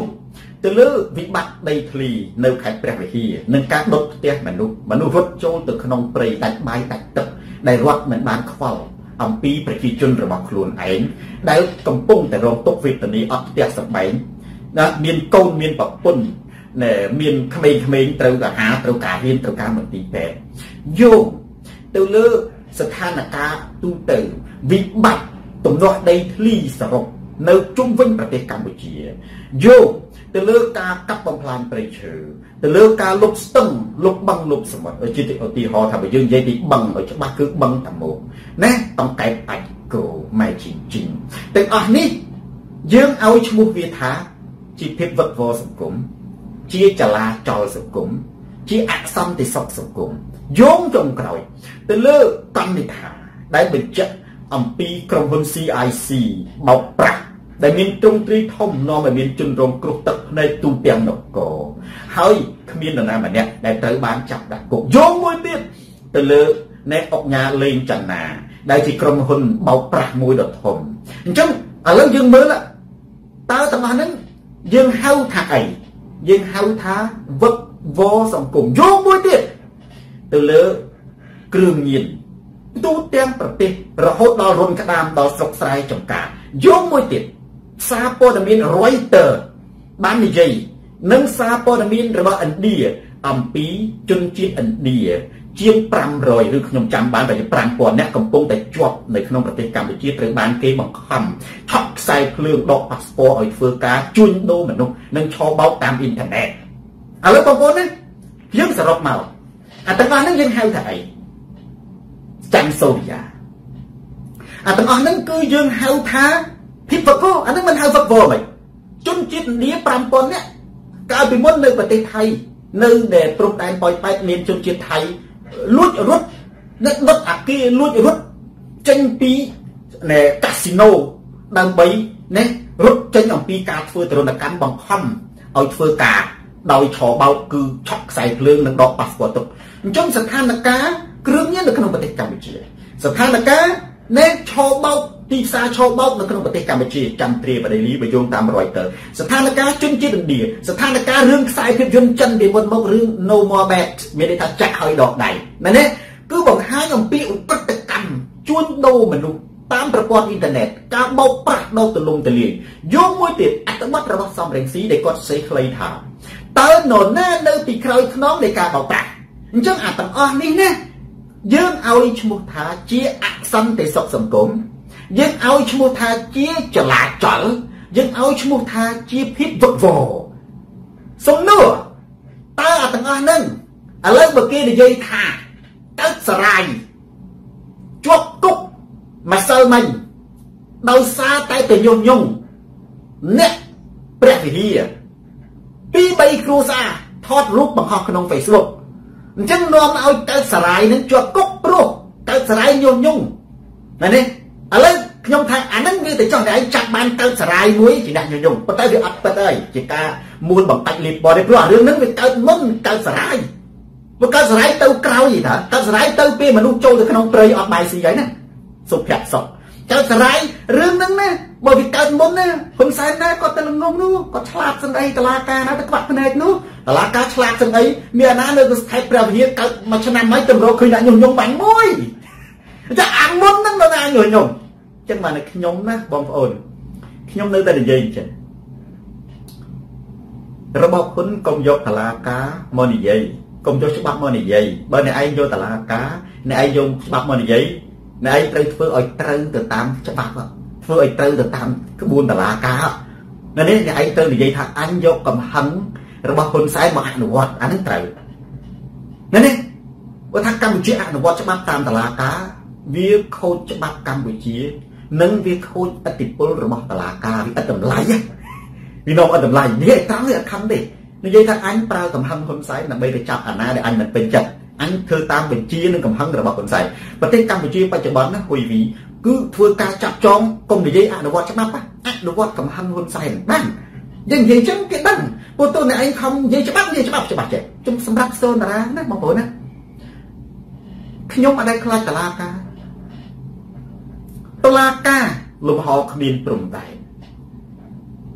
គឺជាកន្លែងបញ្ចេញមតិជាកន្លែងតតាំងគំនិតរកហេតុផលមិនមែនជាកន្លែង ចោតសួរចម្លើយនិងធ្វើទរណកម្មទេ នៅក្នុងប្រទេសកម្ពុជាតឡាការមិនមែនជាកន្លែងតតាំងគំនិតទេបងប្អូនសារជាតិរបស់តឡាការគេបង្កើតដើម្បីអីបងប្អូនទៅមើលពាក្យវចនានុក្រមឬក៏ទៅមើលគេបង្កើតអីនេះសារជាតិរបស់តឡាការគឺសវនាការស្អីគេសវនាការសវនាការគឺប្រជុំស្អីគេប្រជុំប្រជុំគឺគេប្រជុំតតាំងគំនិតគាត់ថាតតាំងគំនិតដើម្បីសម្រេចទោសនិងសម្រេចថាអត់ទោសតែប៉ុណ្្នឹងទេតា តឡាការដូចប្រកួតប្រធាននីតិបណ្ឌិតចឹងណាប្រធាននីតិបណ្ឌិតគេប្រកួតគំនិតដើម្បីឲ្យប្រជាជនសម្រេចបោះឆ្នោតឲ្យថាអាណាល្អជាងតឡាការគេប្រកួតគំនិតគេតតាំងសម្ដីអូបើអ្នកសុកខេមរាខ្លួនដើម្បីសម្រេចថានឹងមានទោសឬអត់ទោសប៉ុន្តែឥឡូវយើងសួរតតឡាការរបស់ខ្មែរជាកន្លែងតតាំងគំនិតទេអត់ទេជាតាំងរិចអៀវជាគុកទួលស្លែងជាគុកទួលស្លែងស្មើគ្នាណែចាំមិនថាបងប្អូនណា បើខ្ញុំឧទាហរណ៍ដល់ទៅតឡាការខ្ញុំសប្បាយចិត្តដែរបើអ្នកណានៅក្នុងតឡាការទោះជាអ្នកឯងមួយបំតាច់សូនតារាក៏ដោយឧទាហរណ៍ណាឲ្យតែអ្នកឯងមាន logic ឲ្យតែអ្នកឯងមានហេតុផល logic មូលបំតាច់ខ្ញុំឲ្យខ្ញុំទាល់តតាណាអាហ្នឹងខ្ញុំមិនត្រឹមតែជាប់គុកដោយពេញចិត្តទេខ្ញុំខ្ញុំសរសើរអ្នកឯងទៀតប៉ុន្តែវាអត់បងប្អូនណាវាអត់ណាវាអត់ចាំតែខ្ញុំទៅនិយាយថា នេះមិនបាច់ទៅនិយាយជាមួយទេបើនិយាយជាមួយតសម្ដីយើងហ្នឹងវាមានវាមានផលវាមានវាមានផលឲ្យគេថាអាហ្នឹងវាអត់ផលប៉ុន្តែដូចគុកទួលស្លែងបងប្អូនទៅវែកញែករឿងអីឲ្យតែគេចាប់ដឹងតែងាប់ហើយនៅក្នុងរបបហ៊ុនសែនយើងទៅវែកញែករឿងអីណាឲ្យតែហ៊ុនសែនចាប់អាហ្នឹងគឺដឹងតែជាប់គុកហើយអញ្ចឹងយើងកុំនិយាយថាជាតុលាការយើងនិយាយថាស្ថាប័នអនុវត្តកំហឹងហ៊ុនសែនទៅ មិនទេយើងប្រើពាក្យតឡាការដល់ល្អមុនវាខូចកិច្ចការលោកភាពវាអត់ត្រូវសម្រាប់ខ្ញុំកម្ពុជាគ្មានទេតឡាការចិនលៀនគ្មានទេខ្ញុំនៅតែគ្រប់ឲ្យតម្លៃតឡាការព្រោះនឹងមានគ្រប់ប្រទេសនៅប្រទេសណាដោយជំនួយពិភពលោកឲ្យមានតាំងពីបរមបុរាណមកវាជានិមិត្តរូបនៃយុទ្ធធម៌ណាព្រោះណានៅតឡាការគេសរសេរអកតេទាំង4គេនិមិត្តរូបនៃយុទ្ធធម៌ណាប្រទេសខ្មែរគួរទៅដោះផ្លាកតឡាការចេញដាក់ថាទីស្នាក់ការអនុវត្តកំហឹងសម្ដេចដាក់ចេះទេទីស្នាក់ការអនុវត្តកំហឹងសម្ដេច ព្រោះវាមិនមែនជាតឡាការមនុស្សវាមិនដែលបានទៅតតាំងអីបានមនុស្សមិនដែលទៅវេកមិនដែលទៅនិយាយអាសម្ដីរបស់យើងហ្នឹងគេអត់មាន logic ណាមកតតាំងជាមួយយើងទេបាទខ្ញុំតាសើតារាបើតែឯងមួយបន្តិចខ្ញុំក៏ដោយបើតែឯងមាន logic logic និយាយយ៉ាងណាឲ្យខ្ញុំណាតតាំងអត់បានឲ្យខ្ញុំចាញ់ណាមេពូមេបងប្អូនអានឹងតួនាទីមេតាវីមានពេលខ្លះរឿងធំគេមាន logic និយាយឲ្យវាទៅជាតូច រឿងតូចមេតាវីខ្លះវាមាន logic និយាយទៅជាធំវាបានសំណងច្រើនអានឹងណាកន្លែងកន្លែងកន្លែងកន្លែងការកន្លែង logic តែបងណា logic logic មានណាហេតុផលសំហេតុផលត្រឹមត្រូវបើអ្នកឯងមាន logic បញ្ជាក់ថានេះការមើលបង្កាច់របស់អ្នកឯងនេះធ្វើឲ្យខ្ញុំតមកអត់បានមាននៅក្នុងរឿងក៏មានមានពេលខ្លះអ្នកហ្នឹងវាតមកបាត់បានសារអានោះវាវាអត់មានអីសំអាង អាកន្លែងហ្នឹងណាខ្ញុំទោះជាឯងមូលបង្កាច់ខ្ញុំសរសើរតែឯងទៀតបើកម្ពុជាមានកម្រិតនេះណាតឡាការជាកន្លែងតតាំងកំណត់ណាខ្ញុំសរសើរតែខ្ញុំឲ្យឈ្មោះខ្ញុំគ្រប់នៅគ្រប់តឡាការខ្ញុំឲ្យឈ្មោះថាជាតឡាការប៉ុន្តែបច្ចុប្បន្ននេះស្មើនឹងកាន់កិច្ចអៀវហ្នឹងគេគេហៅថាគុកទូស្លែងកន្លែងកាន់កិច្ចអៀវអពតអត់ហៅថាគុកទេណាគេហៅថាតឡាការមន្ទីរមន្ទីរគឺតឡាការបងប្អូនខ្មែរយើងបច្ចុប្បន្នក៏ប្រើគុកដែរគុកជាពាក្យនិយាយណាអាកន្លែងហ្នឹងគេប្រើមន្ទីរដូចជាគុក ព្រៃសរគេមិនប្រើគុកព្រៃសរណាគេហៅមន្ទីរកែប្រែណែឃើញទេមន្ទីរតាដូចគុកតួស្លែងយើងពាក្យតែគុកយើងហៅទេប៉ុន្តែពាក្យវាគេហៅមន្ទីរម21មន្ទីរសមន្ទីរស21ពលពតអាកន្លែងគុកហ្នឹងវាដែរហៅគុកទេណាវាហៅនៃតឡាការបងប្អូនទៀតដឹងទៅលើពាក្យសន្តានានិយាយថ្ងៃនេះណា គុកតួស្លែងហ្នឹងគេមិនហៅគុកទេបងប្អូនទៅមើលពាក្យដើមមើលគេហៅមន្ទីរស21មន្ទីរសហ្នឹងគេមន្ទីរសហ្នឹងគឺមន្ទីរហ្នឹងគឺគុកហ្នឹងណាដូចជានៅគុកនៅព្រៃសរបច្ចុប្បន្នគេមិនប្រើនេះណាគេប្រើមណ្ឌលឬក៏មន្ទីរពាក្យកុំនេះគេប្រើមន្ទីរវណ្ណែលសុនហាមែនទេហើយចំណែកនៃពាក្យបច្ចុប្បន្នគេប្រើមណ្ឌលកែប្រែឃើញទេមណ្ឌលអប់រំកែប្រែអាកន្លែងនេះអប់រំកែប្រែមិនខ្មែរក្រហមវាមិនប្រើដែរយកទៅបៃចោលមិនគេហៅយកទៅអប់រំយកទៅអប់រំហ្នឹង គឺយកទៅអប់រំកែប្រែហ្នឹងមិនដែលជាកែពាក់មកគាត់អញ្ចឹងណាបងប្អូនបើតឡាការកម្ពុជាណាជាតឡាការណាគ្មានពីណាគេខ្លាចទេគ្មានទេអញ្ចឹងត្រូវដាក់ទៅថាលំទូណាជាសាលាបិញសាលាអនុវត្តកំហឹងហ៊ុនសែនប្រមេតាអ៊ុំឥឡូវយើងត្រឡប់មកវិញអានេះខ្ញុំនៅតឡាការតត្រឡប់ទៅណាទេបងណាអាហៅនៅវិលជុំវិញហ្នឹងនៅវិលជុំវិញហ្នឹងឥឡូវនិយាយនឹងតឡាការដដែលអត់ទៅណា ព្រោះអាហ្នឹងវាបញ្ជាក់អំពីអយុត្តិធម៌អយុត្តិធម៌ឥឡូវយើងខ្ញុំរាប់រឿងចុះសរុបតែថាអាទាំងអស់ហ្នឹងយើងឲ្យឈ្មោះថាវ៉ាន់លីម៉ាជាភាពវឹកវរតាមខ្ញុំសូនរហូតទៅដឹងប្រហែលថ្ងៃនេះមួយអាទិត្យនេះខ្ញុំដែរដឹងថាអ្នកមើលប្រហែលនេះប៉ុន្តែពេលក្រោយនៃអានីសាលូណាស្អែកផ្ទាល់ហើយអ្នកមើលច្រើនណាស់អ្នកមើលច្រើនមែនទេដូចមុនដែរអ្នកមើលច្រើនដូចកាលមុនទេគាត់ខ្ញុំមិនដែរដឹងបងប្អូនខ្ញុំនិយាយរឿងណែ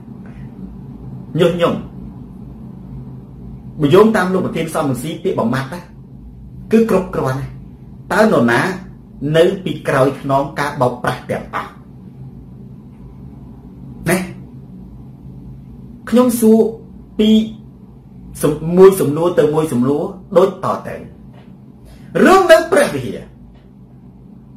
កុំនិយាយរឿងកើតសរាយកើតសរាយទៅចាក់ដាក់ ទៅញញងសិនមិញរឿងហ្នឹងកើតហើយហើយឆេះផ្ទះមនុស្សទៅដល់ហើយយើងបាច់ចិនកាត់កើតសរាយជាមួយចិនយើងនិយាយពីតើព្រះវិហារពីមុនមកដែលកើតរឿងវឹកវរផ្អើលជុំវិញពិភពលោកដុតរហូតដល់ប្រើអំពើហិង្សាប្រើកងកម្លាំងដុតផ្ទះប្រជាជននេះតើនរណាញុះញង់អាហ្នឹងវឹកវរសង្គមនរណាញុះញង់មួយមួយទៀតខ្ញុំនិយាយឲ្យច្បាស់ច្បាស់ចុះកុំឲ្យវាច្រើនពេកទី2រឿងក្រុមហ៊ុន CIC ដែលមន្ត្រីនៅក្នុងនេះថ្នាក់ដឹកនាំរបស់ក្រុមហ៊ុន CIC នឹងសិតជាខ្សែរបស់គណៈបកប្រជាជន ដែលស្ថិតនៅគិកជាមួយនឹងហ៊ុនសែនបើយោងតាមបទនិថាណាពេលគាត់និថានេះក៏អត់បាននិយាយទាញទៅក្បែរពេកទេប៉ុន្តែនេះមានន័យថាខ្សែទាំងអស់នេះវាជាមនុស្សរបស់គណៈបកប្រជាជនណាយ៉ាងនេះនិយាយយុត្តិធម៌ណាគាត់បានភ្ជាប់ប៉ុន្តែឥឡូវ តើនរណាញញងដែលបណ្ដាលឲ្យមានមនុស្សវឹកវរនេះទី2ទី3ណាលេងចំណាយើងបាត់និយាយទេដោយសារគាត់ត្រូវបានគេអនុវត្តច្បាប់ហើយប៉ុន្តែយើងនៅតែសួរតែចេះមូលហេតុដែលលេងចំណាបង្កការបោកប្រាស់ពលករនឹងមនុស្សរាប់ម៉ឺនរាប់ពាន់នាក់រាប់លានដុល្លារហ្នឹងណានរណាញញងលេងចំណាអានេះអានឹងទី4ឥឡូវនេះពីមុននៅបរិយពិភពថ្មីចេញច្បាប់ មិនចេញច្បាប់ទេគឺចេញសេចក្តីប្រកាសថាសេចក្តីសម្រេចរបស់ក្រុមហ៊ុនរឹបអូសផ្ទះប្រជាជនដែលមានការតវ៉ាហើយត្រូវបានជួនពេលស្ងប់ស្ងាត់ជួនពេលមានឡូឡានៅណាញុះញង់ម្នេះឲ្យមានការរឹបអូសផ្ទះសម្បែងនិងរឹបអូសអ្នកទ្រព្យសម្បត្តិរបស់ប្រជាជនទី6ថ្មីថ្មីនេះឥឡូវនេះនឹងមានវីដេអូនៅបរិយពិភពដីនេះនិងបរិយពិភពថ្មីដែលទៅយករថ គ្រឿងចាក់អូសទ្រព្យសម្បត្តិសម្ភារៈចេញពីផ្ទះនិងណែប្រជាជនកំពុងតែផ្ទុះការតវ៉ាពេញក្រុងភ្នំពេញពេញបរិយពិភពថ្មីទាំងអស់ពេញបរិយដីមាសទាំងអស់ឥឡូវហ្នឹងកំពុងតើនរណាជាអ្នកញុះញង់បើតែឯងច្បាស់ថាជាបពប្រឆាំងបពប្រឆាំងតែឯងចាំដាក់ទុកទៅកៅស្រ័យអស់បាត់ហើយឥឡូវខ្ញុំសួរបរិយពិភពថ្មីនរណាញុះញង់បរិយដីមាសនរណាញុះញង់ CIC ដែលប្រកាសវិបត្តិនរណាញុះញង់យើងត្រូវចេះចោទសួរគាត់ណាគឺថាស្ដាប់សនរាណាហុងលៀងហុយកើន logic logic គឺហេតុផលត្រឹមត្រូវការពិតហេតុផលត្រឹមត្រូវការពិតចឹងយើងចោទសួរនៅណាញញងគឺយើងអាចចោទសួរថាតើរបស់ហ្នឹងសិតតែជាគ្នាដូចជាលេងចនាធ្លាប់បានអានទៅជាហ៊ុនម៉ាណែតបកាយដល់ទៅជាគ្នាហ៊ុនសែន មែនទេហើយធ្លាប់មានតំណតំណងដូចជាគុយវាច់ជាបងថ្លៃកូនប្រសានៃប្រាក់សកលប្រាក់សកលជាដៃស្ដាំហ៊ុនសែនឥឡូវហ្នឹងអនុប្រធានព្រឹទ្ធសភាឯកហ៊ុនសែនទៀតគ្រីសេងបងប្អូនឃើញទេអានឹងពួកចិនដែលមកវិនិយោគស្រុកខ្មែរយោងតាមលោកទានសំស៊ីនឹងកសែតអន្តរជាតិគឺ មានអាបត្តិថ្មីហ្នឹងគឺអក្រិតជនរបស់ចិនដែលចិនតាមរករដ្ឋាភិបាលចិនសុំហ៊ុនសែនយកទៅកាត់ទោសហ៊ុនសែនឲ្យចូលសញ្ជាតិលាសញ្ជាតិចិនការពាររហូតដល់ស្រុកខ្មែរបច្ចុប្បន្នហ្នឹងបើយោងតាមឥណ្ឌាគឺមានប្រជាជនឥណ្ឌាមានប្រជាជនថៃប្រជាជនជុំវិញពិភពលោកកម្ពុជាបានคล้ายទៅជាទីផ្សារនៃការបោកប្រាស់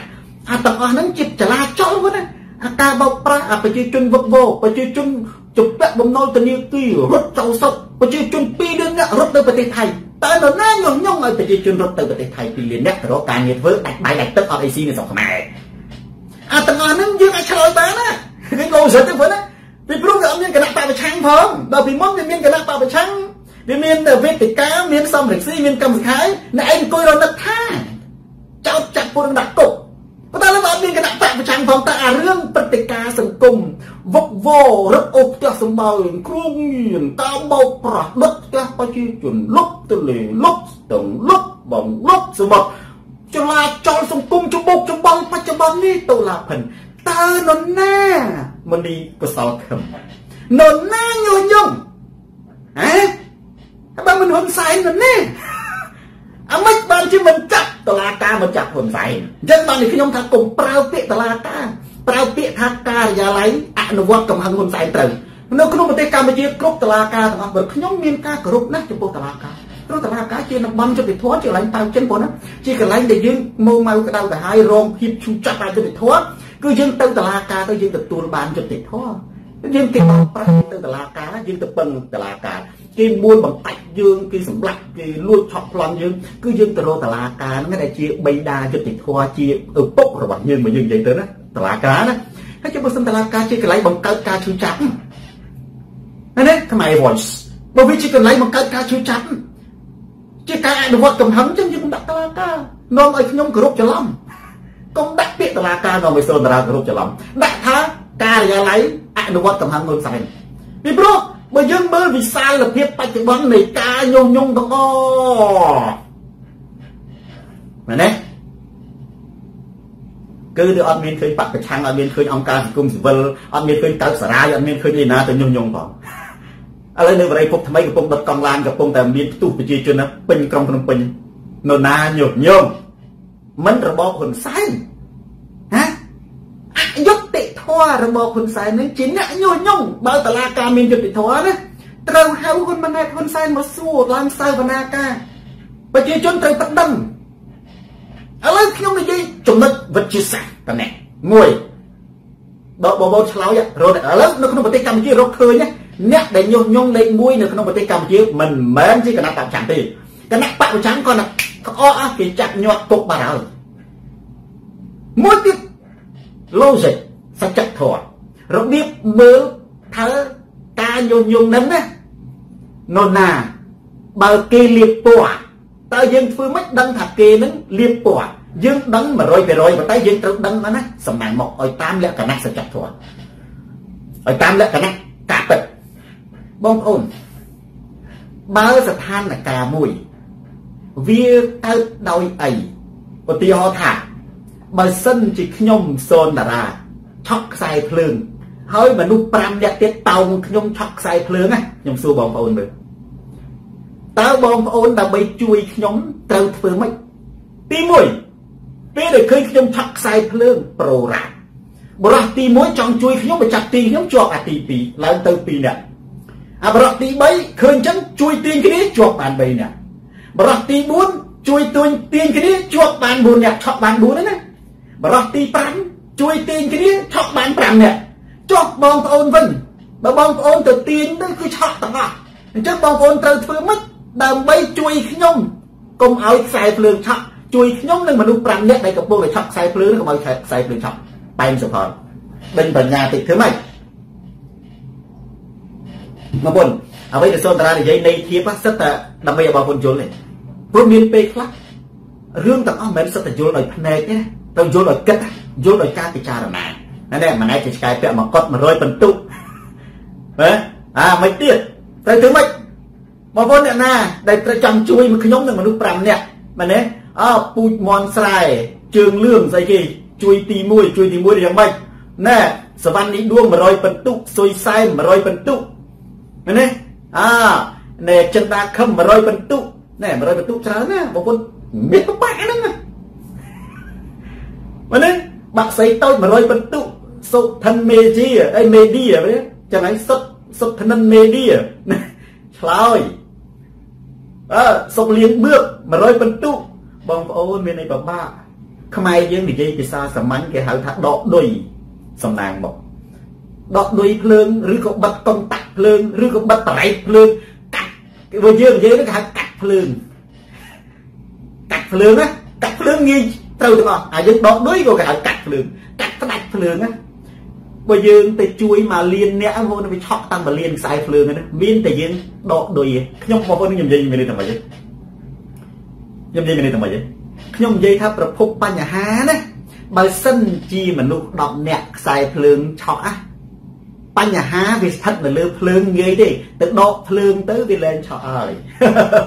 ទៅដកភ្លើងទៅវាឆក់លែងឆក់ហើយប៉ុន្តែ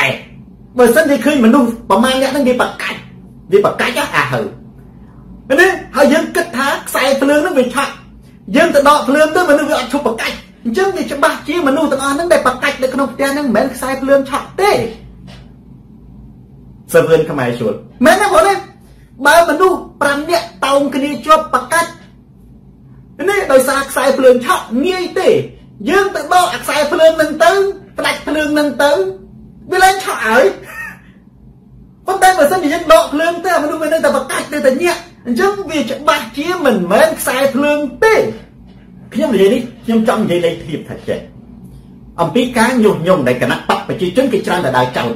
បើរឿងមួយវាកើតចេញអំពីការញុះញង់របស់រងឈុនឧទាហរណ៍មែនទេ ឬស៊ីនកាឧត្តមវាកើតចេញពីការញុះញង់របស់កើតសរាយឬក៏កើតចេញពីការញុះញង់របស់នរណាម្នាក់ខ្ញុំនិយាយថារងឈុនយកឧទាហរណ៍គេចោទរងឈុនបើរឿងនឹងវាផ្ទុះចលាចលកើតដោយសាររងឈុនដកតែរងឈុនមួយទៅអានោះវាងាប់រឿងហ្នឹងវាចប់ហើយបើមនុស្សមួយឆក់ខ្សែភ្លើងមកផ្ទះតោងគ្នាដោយសារតែខ្សែភ្លើងឆក់ដកតែដុយទៅគឺវាឡើងឆក់ហើយ ប៉ុន្តែបើដកដុយទៅវានៅតែឆក់វានៅតែបកាច់មានន័យថាវាមិនមែនខ្សែភ្លើងឆក់ទេបើទីហោះគេចោលតែរងឈុនញុះញង់អំពីអរិយដីធ្លីនឹងបើចាប់តែរងឈុនដាក់គុកទៅរឿងហ្នឹងវាលែងមានវាលែងមានបាតកម្មលែងមានប្រជាជនតវ៉ារឿងហ្នឹងវាស្ងាត់មនុស្សតែដេកបានសម្រេចអស់អាហ្នឹងរងឈុនជាអ្នកញុះញង់ប៉ុន្តែបើចាប់រងឈុនដាក់គុកទៅរឿងហ្នឹងវាអត់ឈប់ផងហ្នឹងរឿងហ្នឹងវាអត់ឈប់ផងអាហ្នឹងណាមានតែហ៊ុនសែនញុះញង់គឺ ញុះញង់តាមបែបណាសុខុមសុសានសប្រព័ន្ធអយុត្តិធម៌សង្គមលោរិតសច្ចធម៌ត្រឹមត្រូវអ្វីដែលសូនតារានិយាយគឺសច្ចធម៌មិនចឹងបងប្អូនណាឥឡូវយើងសួរឥឡូវហ៊ុនសែនដើរកំពុងតែរងអង្គុយរនឹកខ្ញុំថាទោះអ្នកឯងឆ្លាតអង្គុយរនឹកដើរចាប់នរៈគុករឿងដែរដោះមិនចេញដែរព្រោះរឿងហ្នឹងវាអត់កើតចេញអំពីគណៈបព្វឆាំឥឡូវឧទាហរណ៍ថានៅនៅក្នុងប្រទេសកម្ពុជានៅកំពុងឥឡូវនេះនៅបរិយាពិភពថ្មីនៅបរិយាដីមាស កំពុងតែតវ៉ាបាតកម្មប្រជាជនឥឡូវនេះឯងរកអញរងមុខណាឃើញឥឡូវខ្ញុំនិយាយបរិយាភពថ្មីយកល្បីណាគេត្រៀមនឹងរឹបអូសផ្ទះប្រជាជនអតិថិជនប្រមាណ100គ្រួសារឥឡូវប្រជាជនតវ៉ាដេកតាមចៅផ្លូវឥឡូវខ្ញុំថាចេះពូពៅអ្នកឯងទៅចោតបពប្រឆាំងចោតថាទៀបណ្ដោខ្ញុំថាទៅចាប់ទៀបណ្ដោដាក់គុកចាប់ទៀបណ្ដោដាក់គុកឥឡូវខ្ញុំសួរថាបើអ្នកឯងចាប់ទីបណ្ដោដាក់គុកតើប្រជាជននឹងបរិយាពិភពថ្មីនឹងវាឈប់រឹបអូសផ្ទះអានឹងបានថា ទាវណ្ណុលឬក៏រងឈុនហ្នឹងវាជាអ្នកញុំញងបង្កឲ្យមានចលាចលតែតែនៅក្នុងប្រទេសកម្ពុជាមើលអ្នកឯងចាប់អាណាដាក់គុកហ្នឹងណាគ្រាន់តែអ្នកឯងបញ្ចេញកំហឹងណាការចាប់ដាក់គុករបស់អ្នកឯងមិនមែនជាការញុំញងគ្រាន់តែជាពាក្យចោទលៀបពណ៌ទេ ការចាប់ដាក់គុករបស់អ្នកឯងគ្រាន់តែជាការបង្ក្រាបកំទេចបំភ័យស្មារតីកុំឲ្យមនុស្សតវ៉ាតែប៉ុណ្ណោះឲ្យឃើញតែឯងតែមុនឯងជាប់គុកដូចទៅសរាយឯងកញ្ញាឯងថ្ងៃក្រោយនៅព្រះវិហារហ្នឹងកុំឲ្យមានអាណាទៅថតរូបជាមួយណែខ្លាចវិបត្តិដោះស្រាយអញបង្ខំឯងយកលុយ2000ឯងទា20000ណាដល់តែមានអាណាទៅថតរូបទៅឲ្យជាប់គុកចាប់គ្នាឯងដាក់គុក5នាក់ចាប់អាណាទៅយកកទៅឲ្យ5នាក់ទៅវិធីចាប់ដាក់គុកជាវិធីបញ្ចេញកំហឹងរបស់ហ៊ុនសែនជាវិធីបន្លាច ចំប៉ាចំបៃជាវិធីកំតិចនេះកំតិចប្រជាជនមិនមែនជាញុះញង់ទេបើរឿងហ្នឹងញុះញង់ដោយនរណាម្នាក់ចាប់តែអ្នកហ្នឹងទៅវាចប់ខ្ញុំមកលើកឧទាហរណ៍បងប្អូនអ្នកកើតអត់ទាន់រាស្មាច់កូនសិស្សសូនបណ្ដាដែលកើតឆ្នាំ90មិនទាន់ដឹងទេមែនទេអត់ទាន់ដឹងទេប៉ុន្តែអ្នកកើតមុនហ្នឹងស្គាល់អារាស្មាច់អារាស្មាច់គឺជាមេចាក់ចម្រិតនៅក្នុងប្រទេសកម្ពុជាអាហ្នឹងគឺអ្នកបណ្ដាលឲ្យញុះញង់វិញបណ្ដាលឲ្យមានចលនា ចាក់មនុស្សចម្រិតពេញប្រទេសកម្ពុជាបងប្អូនពេលដែលអាញាធរនេះកងកម្លាំងបាញ់សម្រាប់អារាស្មាច់ទៅមានន័យថាលែងមានក្រុមវារលាយឯងមានន័យថាម៉េចព្រោះរឿងនោះវាកើតពីអារាស្មាច់ហ្នឹងហើយដូចគ្នាដូចពួកខ្មែរក្រហមពួកខ្មែរក្រហមហ្នឹងវាកើតមានក្បាលម៉ាស៊ីនគឺប៉ុលពតជាងសេរីខេងសំផនតាមុកអីចឹងទៅបងប្អូនតែមិនមិនទេនេះបំបែកបំបាក់ចេញតប៉ុលពតស្លាប់ទៅសុនសេនស្លាប់ទៅ អាអង្គការចាត់តាំងប៉ុលពតវារលាយឯងណាដោយសារពួកអាកម្លាំងនេះវាកើតដោយសារតែប៉ុលពត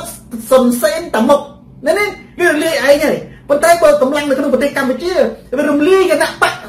រំលាយគណៈបកប្រឆាំងរំលាយគណៈបកសង្គ្រោះជាតិហើយបែរជាបញ្ហាវាកើតច្រើនជាងកាលគណៈបកប្រឆាំងនៅមានអញ្ចឹងមានតែមិនហ៊ុនសែនដាក់ញុះញង់ពីព្រោះរឿងហ្នឹង នេះវានៅលើហ៊ុនសែនព្រោះក្រុមហ៊ុនទាំងអស់នឹងសិទ្ធិខ្សែហ៊ុនសែនបរិយពិភពថ្មីក៏ដោយបរិយដីនេះក៏ដោយ CIC ក៏ដោយបរិយលេងនវត្រាក៏ដោយបរិយណាក៏ដោយបរិយអីស្អីលេងចន្ទនាក៏ដោយគឺសិទ្ធតែមានហិលយោខ្នងជាហ៊ុនសែនទេការកំពុងថប់អញ្ចឹងបានខ្ញុំថាណូណាញុះញង់អានឹងគេយល់បំផុតលោកស្រីចឹងប៉ុណ្ណាបើការញុះញង់នឹងវាកើតចេញពីគណៈបពប្រឆាំងចុះគណៈបពប្រឆាំងរលាយហើយមិនបញ្ហានឹងមិនមិនរលាយ គ្រីសេងអាម៉េចក៏បញ្ហានៅក្នុងប្រទេសកម្ពុជាមិនរលាយបើគណៈបពប្រឆាំងជាមេបង្កវឹកវរនេះសន្តិសុខបង្កចលាចលសង្គមហើយចុះលើកម្មសខាជាប់គុកហើយមិនគួរសង្គមវានៅតែចលាចលហើយអើបើគណៈបពប្រឆាំងនឹងសំរងស៊ីនឹងណែឆែកស៊ីណាជាអ្នកញុះញង់បង្កមានភាពវឹកវរអសន្តិសុខសង្គមហើយចាំសំរងស៊ីនៅបារាំងនេះណាណាហាយកភាពវឹកវរសង្គមបច្ចុប្បន្ននោះមិនក៏នៅតែមានអញ្ចឹងវាមានន័យថាម៉េចជេនជេកាតើគឺហ៊ុនសែន ចំណុចទី2សំខាន់នៅក្នុងប្រធានបទទី1នៅក្នុងប្រធានបទទី2បើដូចខ្ញុំនិយាយយើងមកប្រធានបទទី1ខ្ញុំនិយាយខ្លីប្រធានបទទី2វែងប្រធានបទទី3ក៏ខ្លីដែរ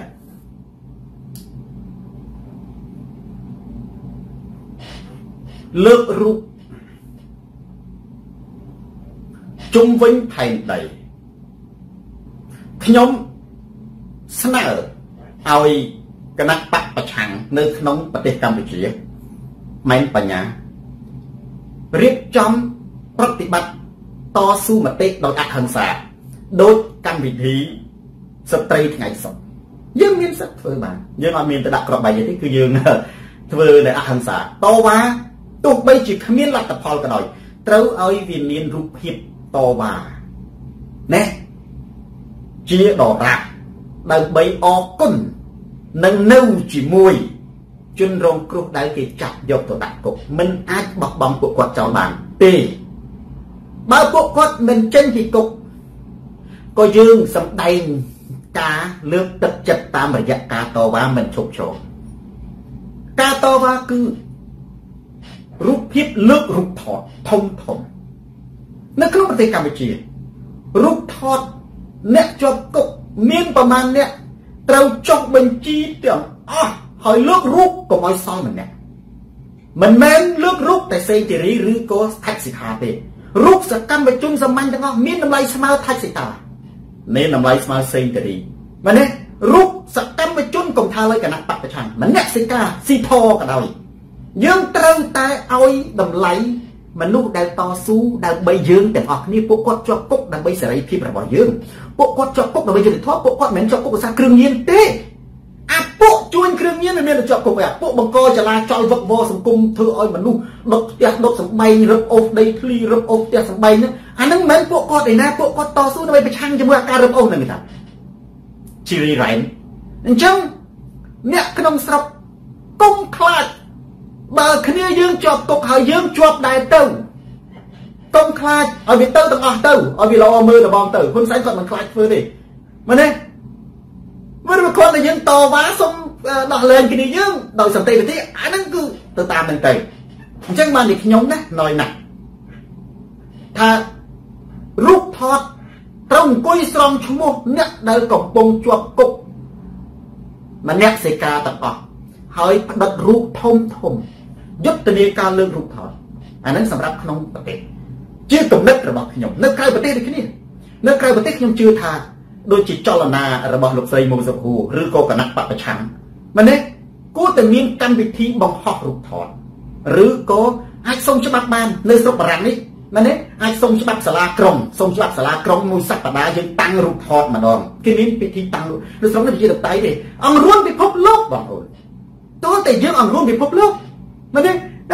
នៅប្រទេសអាមេរិកកន្លែងណាដែលមានក្រុងខ្មែរច្រើនដូចជាក្រុងឡុងបិចយើងអាចសុំសាលាក្រុងបានមែនទេរយៈមួយសប្តាហ៍យើងធ្វើម្ដង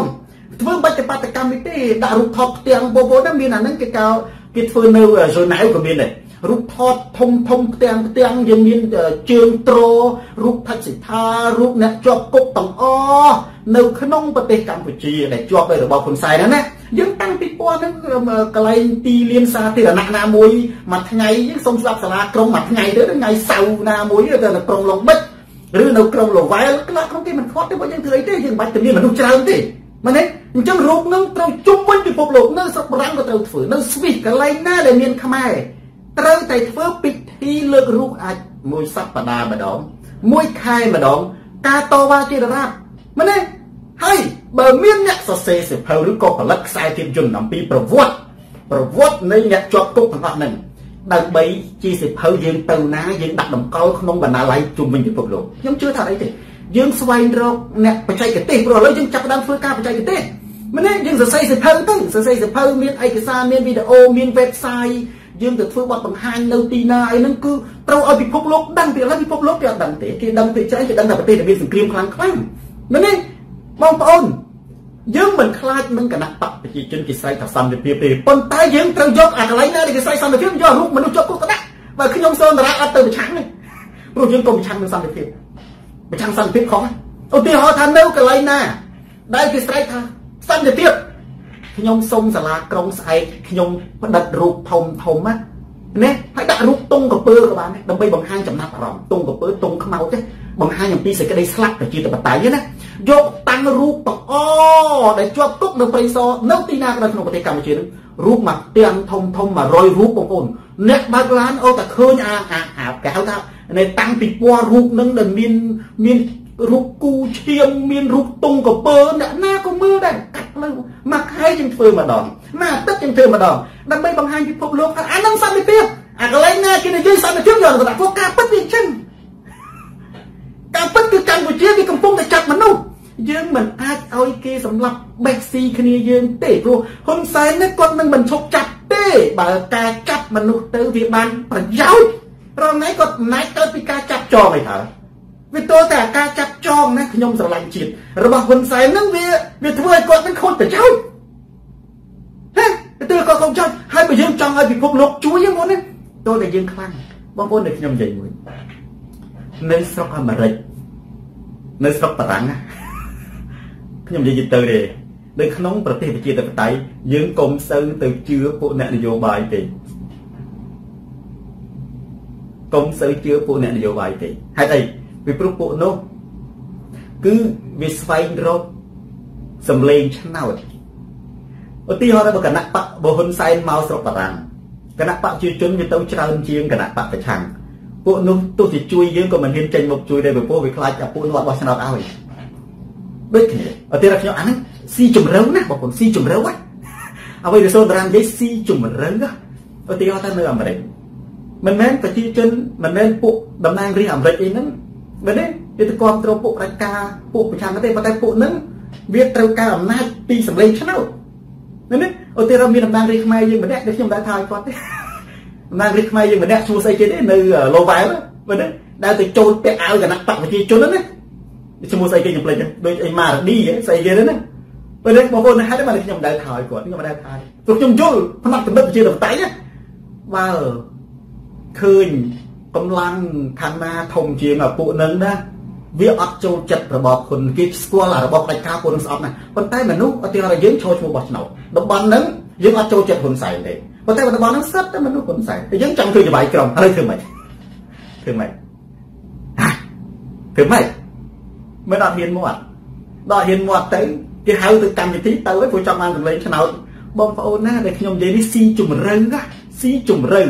មែនទេ ពួកនៅក្នុងប្រជាធិបតេយ្យអ្នកនយោបាយតំបន់ណាគឺវានៅខាងតែអ្នកខ្លាំងទេបើអ្នកផ្ដាច់ការវាច្រើនណាគឺវាអត់អាចនៅជាមួយយើងបានទេអត់ទេមុំម៉ារ៉ាឌីនេះគាត់មិនមែនមនុស្សខ្វាក់ភ្នែកទេមិនមុំម៉ារ៉ាឌីនៅលវ៉ែលគាត់មិនល្ងីល្ងើល្ងងមិនដឹងថារបបហ៊ុនសែនហ្នឹងរបបសួរពូជរបបអីហ្នឹងប៉ុន្តែដើម្បីជាប់ឆ្នោតគាត់ទៅធ្វើម៉េចទីមួយគាត់ត្រូវមិនមាត់ខ្លាចប៉ះជាមួយបពប្រឆាំងគាត់ត្រូវយកចិត្តគណៈបញ្ញជននៅនេះក៏ត្រូវចេះ ពួកពួកគាត់ឃើញអាចលនានឹងខ្លាំងជាងាកបងណាអញ្ចឹងបានតែខ្ញុំថាពេលខ្លះចលនារបស់យើងត្រូវតែខ្លាំងបើចលនាយើងខ្លាំងណាអន្តរជាតិនៅខាងយើងលះហះណារបស់ហ៊ុនសែនក៏ទៅរួចដែរសំបីតែអ៊ុយក្រែនខ្ញុំនិយាយបើអត់មានអន្តរជាតិងាប់បាត់ហើយជើងនៅតែពឹងអន្តរជាតិចឹងអញ្ចឹងបានខ្ញុំថាត្រូវតែធ្វើឲ្យយុទ្ធនាការលើករូបថតជាប្រចាំអត់ខ្វល់ប្រហែលឆ្នាំក៏បានដែរមួយអាទិត្យម្ដងក៏បានមួយខែម្ដងក៏បានទូទាំងពិភពលោកអ្នកណាជាប់គុកថ្មីក៏រូបថែម អ្នកណាអ្នកណាចេញយើងដករូបចេញយើងលើកទឹកចិត្តយើងបញ្ជាក់អំពីការបោកដកអ្នកណាដែលគេដោះលែងយើងដករូបចេញហើយយើងធ្វើមែនទេអបអសាទរលើកទឹកចិត្តមិនមែនអបអសាទររដ្ឋាភិបាលទេលើកទឹកចិត្តសរសើរអ្នកដែលបានអ្នករួចចេញមកយើងអបអសាទរពួកគាត់បងប្អូនមិនអាចឲ្យហ៊ុនសែនប្រើវិធីបេះមនុស្សស៊ីបន្លាចមនុស្សឲ្យជន់យើងសាច់ចិត្តបានទេប្រិយមិត្ត share វីដេអូនេះទៅកាន់ប្រិយមិត្តទៅទៀតទូរទស្សន៍តារា ស្រាត់ខោជន់ផ្ដាច់ការផ្លាស់ប្ដូរផ្នែកកំណត់អានេះជាកំណត់របស់ខ្ញុំទេពុទ្ធតារាមនុស្សយុទ្ធសាស្ត្រមនុស្សយុទ្ធសាស្ត្រមែនទេអត់ធ្វើតាមអារម្មណ៍ទេហើយរឿងនេះណាបើធ្វើបានណាបងប្អូនទោះជាហ៊ុនសែនមិនដោះលែងអីយើងមិនខ្វល់ទេព្រោះយើងត្រូវគោលដៅរបស់យើងគឺតស៊ូដើម្បីឲ្យមានការប្រែប្រួលមែនទេ ដើម្បីឲ្យវាផ្ទុយពីសន្តិភាពឲ្យពាក្យសន្តិភាពនឹងពាក្យសន្តិភាពរបស់ហ៊ុនសែនមិនអាចស្អុយដោយសារយើងជេរគាត់ទេដោយសារយើងប្រឆាំងជាមួយពាក្យសន្តិភាពតែប្រឆាំងសន្តិភាពមិនសន្តិភាពគឺមនុស្សប្រាថ្នាចង់បានគ្រប់គ្នាដល់លីអុយហើយយើងទៅប្រឆាំងសន្តិភាពមិនយើងប្រឆាំងសន្តិភាពខុសណាពេលដែលហ៊ុនសែននិយាយសន្តិភាពយើងយកត្រូវយកឈាមទៅស្ទឹមមកកន្លែងពាក្យស្លោកនឹងភ្លាមដើម្បីឲ្យគេថាអូអានឹងគឺជាពាក្យប៉ុលពតទេណាគឺជាពាក្យប៉ុលពតប្រជាធិបតេយ្យ ប៉ុលពតទៅពេលណាវានិយាយពីប្រជាធិបតេយ្យយើងយកឆ្អឹងទៅដាក់យើងយកឆ្អឹងទៅដាក់ប្រជាធិបតេយ្យអាពាក្យនឹងមានតាំងពីជំនាន់គេរិះគន់រឿងនៃគេរិះគន់ស្ដាច់ពីដើមមកគេថាមានគេគូគំនូចឹងទៅមានចានមាសមហូបមាសអីចំចានមាសចានប្រាក់កតេលមាសកតេលប្រាក់ប៉ុន្តែប្រជាជនដាច់បាយឆ្អឹងលហេលហាមក្រក្បាលជង្គង់ធំមានគេគូគំនូអាហ្នឹងវាបញ្ជាក់គេគេ បងប្អូនបើកណាយើងឃើញគំនូពីដើមគំនូពីដើមគឺរូបស្ដេចអង្គុយនៅកន្លែងតុកមាសចានមាសស្លាបព្រាមាសគ្រឿងអលង្ការមាសហើយរូបនៅខាងក្រោមហ្នឹងគឺរូបមនុស្សដាច់បាយក្មេងស្គមស្លាក់ក្បាលជង្គង់ធំធំគេមិនមែនរំលេចតែរូបចានមាសណាស្លាប់ព្រាមាសមកហូបពេញតុករបស់ស្ដេចទេណាគឺគេបង្ហាញអំពីណាភាពអយុត្តិធម៌និងការបើកឈាម ជនជក់ឈាមប្រជាជនដូចគ្នាបើកណាហ៊ុនសែនបង្ហាញអាផ្លាកយុត្តិផ្លាកសន្តិភាពហ្នឹងណាមានយើងទៅជេរបចោទៅខំសន្តិភាពអត់ត្រូវទេយើងមិនឆាំសន្តិភាពអត់ត្រូវទេសន្តិភាពជាអ្វីដែលមនុស្សចង់បានមែនទេគឺយើងត្រូវតែដូចដូចខ្ញុំខ្ញុំនិយាយគំនូអញ្ចឹង ត្រូវយកអ្នកទោសទាំងអស់នៅក្នុងប្រទេសកម្ពុជារូបថតអ្នកទោសហ្នឹងណាដោយមានសិល្បៈគំនូផ្សេងផ្សេងមានដោយហ៊ុនសែននេះដូចជានៅប្រទេសអ៊ីស្រាអែលគេគូរូបនាយករដ្ឋមន្ត្រីនៅមាត់ប្រឡាក់ឈាមចកោមអីគេអាចគូចឹងបាននៅប្រទេសអ៊ីស្រាអែលប្រជាជនអ៊ីស្រាអែលប្រឆាំងជាមួយនឹងនាយករដ្ឋមន្ត្រីខ្លួនឯងមានអាចាប់ដាក់គុកប្រឆាំងសង្គ្រាមនោះមែនទេយើងអាចគូហ៊ុនសែនចកោមមានរូបនឹងគ្រប់ទាំងអស់អីចឹងទៅគឺកន្លែងសន្តិភាពគឺតែអាហ្នឹងមិនមកកន្លែងណាគេហូជប់លៀនពិធីសន្តិភាពយើងអាចទៅលើករូបហ្នឹង ឲ្យពួកហ្នឹងវាកលេចឲ្យពួកហ្នឹងវានិយាយពីសន្តិភាពវាកលេចទៅវាឃើញអាហ្នឹងវាដូចជាគំនូមួយគេគូរូបស្ដេចគេគូរូបស្ដេចចានមាសស្លាបព្រាមាសមហូបពេញតុប៉ុន្តែមនុស្សដាច់បាយនៅខាងក្រោមណាគេគេអាហ្នឹងជាសិល្បៈណាបងប្អូនជាសិល្បៈកុំប្រឆាំងនឹងសន្តិភាពខុសហើយកុំប្រឆាំងសន្តិភាពសន្តិភាពប្រឆាំងមិនវាជាអ្វីដែលមនុស្សប្រាថ្នាចង់បានគ្រប់គ្នាប៉ុន្តែយើងត្រូវបង្ហាញថាពាក្យសន្តិភាពរបស់ហ៊ុនសែនគឺខ្លែងខ្លាយគឺជាគិតតកជាពាក្យគិតតកមែនទេ ពាក្យគិតតកចង់និយាយថាពាក្យនឹងវាអាចជាឈ្មោះអាគិតកដែលមានឈ្មោះសន្តិភាពមែនទេដូចពាក្យប៉ុលពតពាក្យប្រជាធិបតេយ្យជាពាក្យគិតកទេមនុស្សស្លាប់ដោយសារប្រជាធិបតេយ្យពាក្យសន្តិភាពជាពាក្យគិតកមនុស្សជាប់គុកដោយសារគិតដោយសារពាក្យសន្តិភាពយើងចង់និយាយចេះឧទាហរណ៍ថាប៉ុលពតវាថាប្រជាធិបតេយ្យប្រទេសឆ្អឹងកោដូចភ្នំហ៊ុនសែនថាសន្តិភាពប៉ុន្តែមនុស្សជាប់គុកបន្តកទួយប្រទេសកម្ពុជាគាត់នឹងអកនេះទៅចេញទៅតឡាការទៅដែលគៀមមនុស្សអញ្ចឹងគេចង់និយាយថា អាពាក្យសន្តិភាពហ្នឹងឯងវាបណ្ដាលឲ្យមនុស្សជាប់គុកណាបើនៅស្រុកអាមេរិកអ្នកឯងនិយាយមានណាជាប់គុកផងយើងពិចារណាមើលមើលនេះណាបងប្អូនកុំទៅស្រែកប្រឆាំងជាមួយសន្តិភាពសន្តិភាពជាអ្វីដែលណាក៏វាមិនត្រូវប្រឆាំងដែរប៉ុន្តែយើងប្រឆាំងជាមួយនេះពាក្យសន្តិភាពគេតកមានន័យថាដោយសារសន្តិភាពវាបណ្ដាលឲ្យមនុស្សជាប់គុកវាបណ្ដាលឲ្យភ្លើងឆេះផ្ទះវាបណ្ដាលឲ្យមានការរឹបអូសដីធ្លីវាបណ្ដាលឲ្យមានការឆោបោកក្នុងប្រទេសកម្ពុជាវាបណ្ដាលឲ្យមានអីផ្សេងផ្សេងអានេះយើងអាចនិយាយបានហើយយើង ជាសិល្បៈប្រធានបទចុងក្រោយទី3និយាយខ្លីដូចប្រធានបទទី1ដែររឿងទេវតាព្រំតារាឆៃគោងៀតបងប្អូនណាសំណាក់ហេតុអីបានជាសាសនាព្រះពុទ្ធមានអំណាចទេខ្ញុំទៅត្រឡប់ទៅវិញដោយសារមនុស្សផ្ដេសផ្ដាស់ហេតុអីបានសាសនាដទៃអត់អំណាចទេ ទោះបីយើងមិនជឿក៏ដោយដោយសារមនុស្សមិនផ្ដេសផ្ដាស់អ្វីទៅដែលហៅថាមនុស្សផ្ដេសផ្ដាស់អ្វីទៅដែលហៅថាមនុស្សមិនផ្ដេសផ្ដាស់ចម្លើយមនុស្សផ្ដេសផ្ដាស់មានន័យថាមនុស្សនិយាយដោយអត់យោងទៅលើគម្ពីរមនុស្សមិនផ្ដេសផ្ដាស់គឺជាមនុស្សដែលយោងទៅលើគម្ពីរយកលើកម្ពីបងប្អូនណាទោះបីជាកម្ពីនឹងប្រហែលពាន់ឆ្នាំយើងមិនជឿក៏ដោយយើងថាអូព្រះជាអ្នកបង្កើតអីក៏ដោយប៉ុន្តែគឺគេអត់ថាខ្លួនគេដែរ ណែដូចសាសនាដតីសាសនាហិណ្ឌូយកកម្ពីណែវេតសាសនាគ្រិស្តយកកម្ពីបាយបលអីចឹងទៅ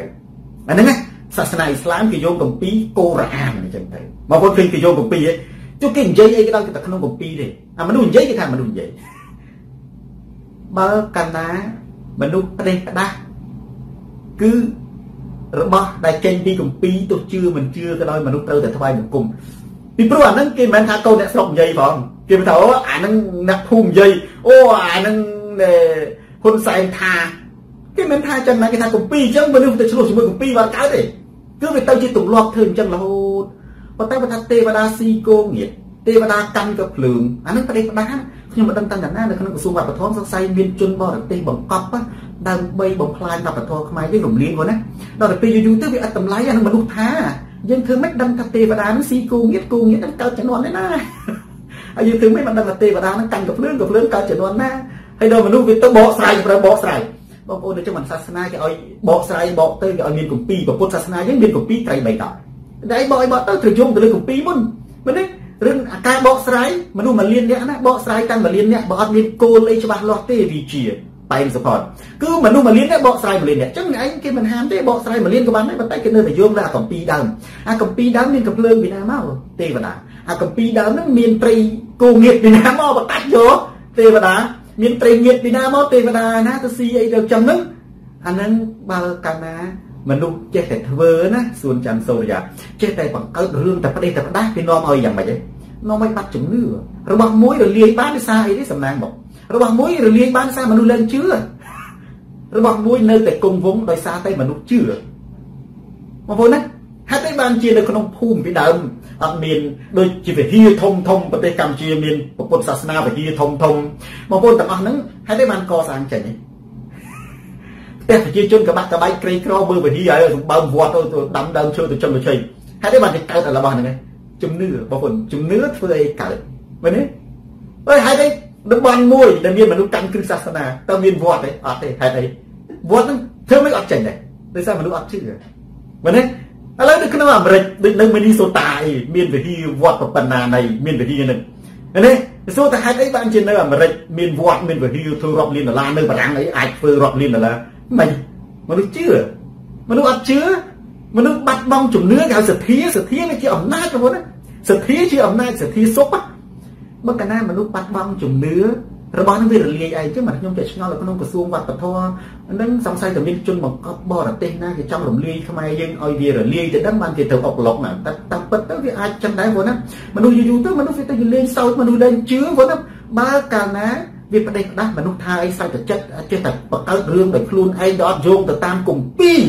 គម្ពីរទោះជាវាថាមិនក៏យើងត្រូវថាតាមវាដែរត្រូវថាតាមគម្ពីរជាដាច់ខាត អាហ្នឹងបើយើងប្រកាន់នេះមួយអ្នកកាន់ពុទ្ធសាសនាអត់មាននិយាយខុសពីគម្ពីរត្រៃបិដកទេតែខុសពីត្រៃបិដកអាហ្នឹងគឺនិយាយថាទស្សនៈ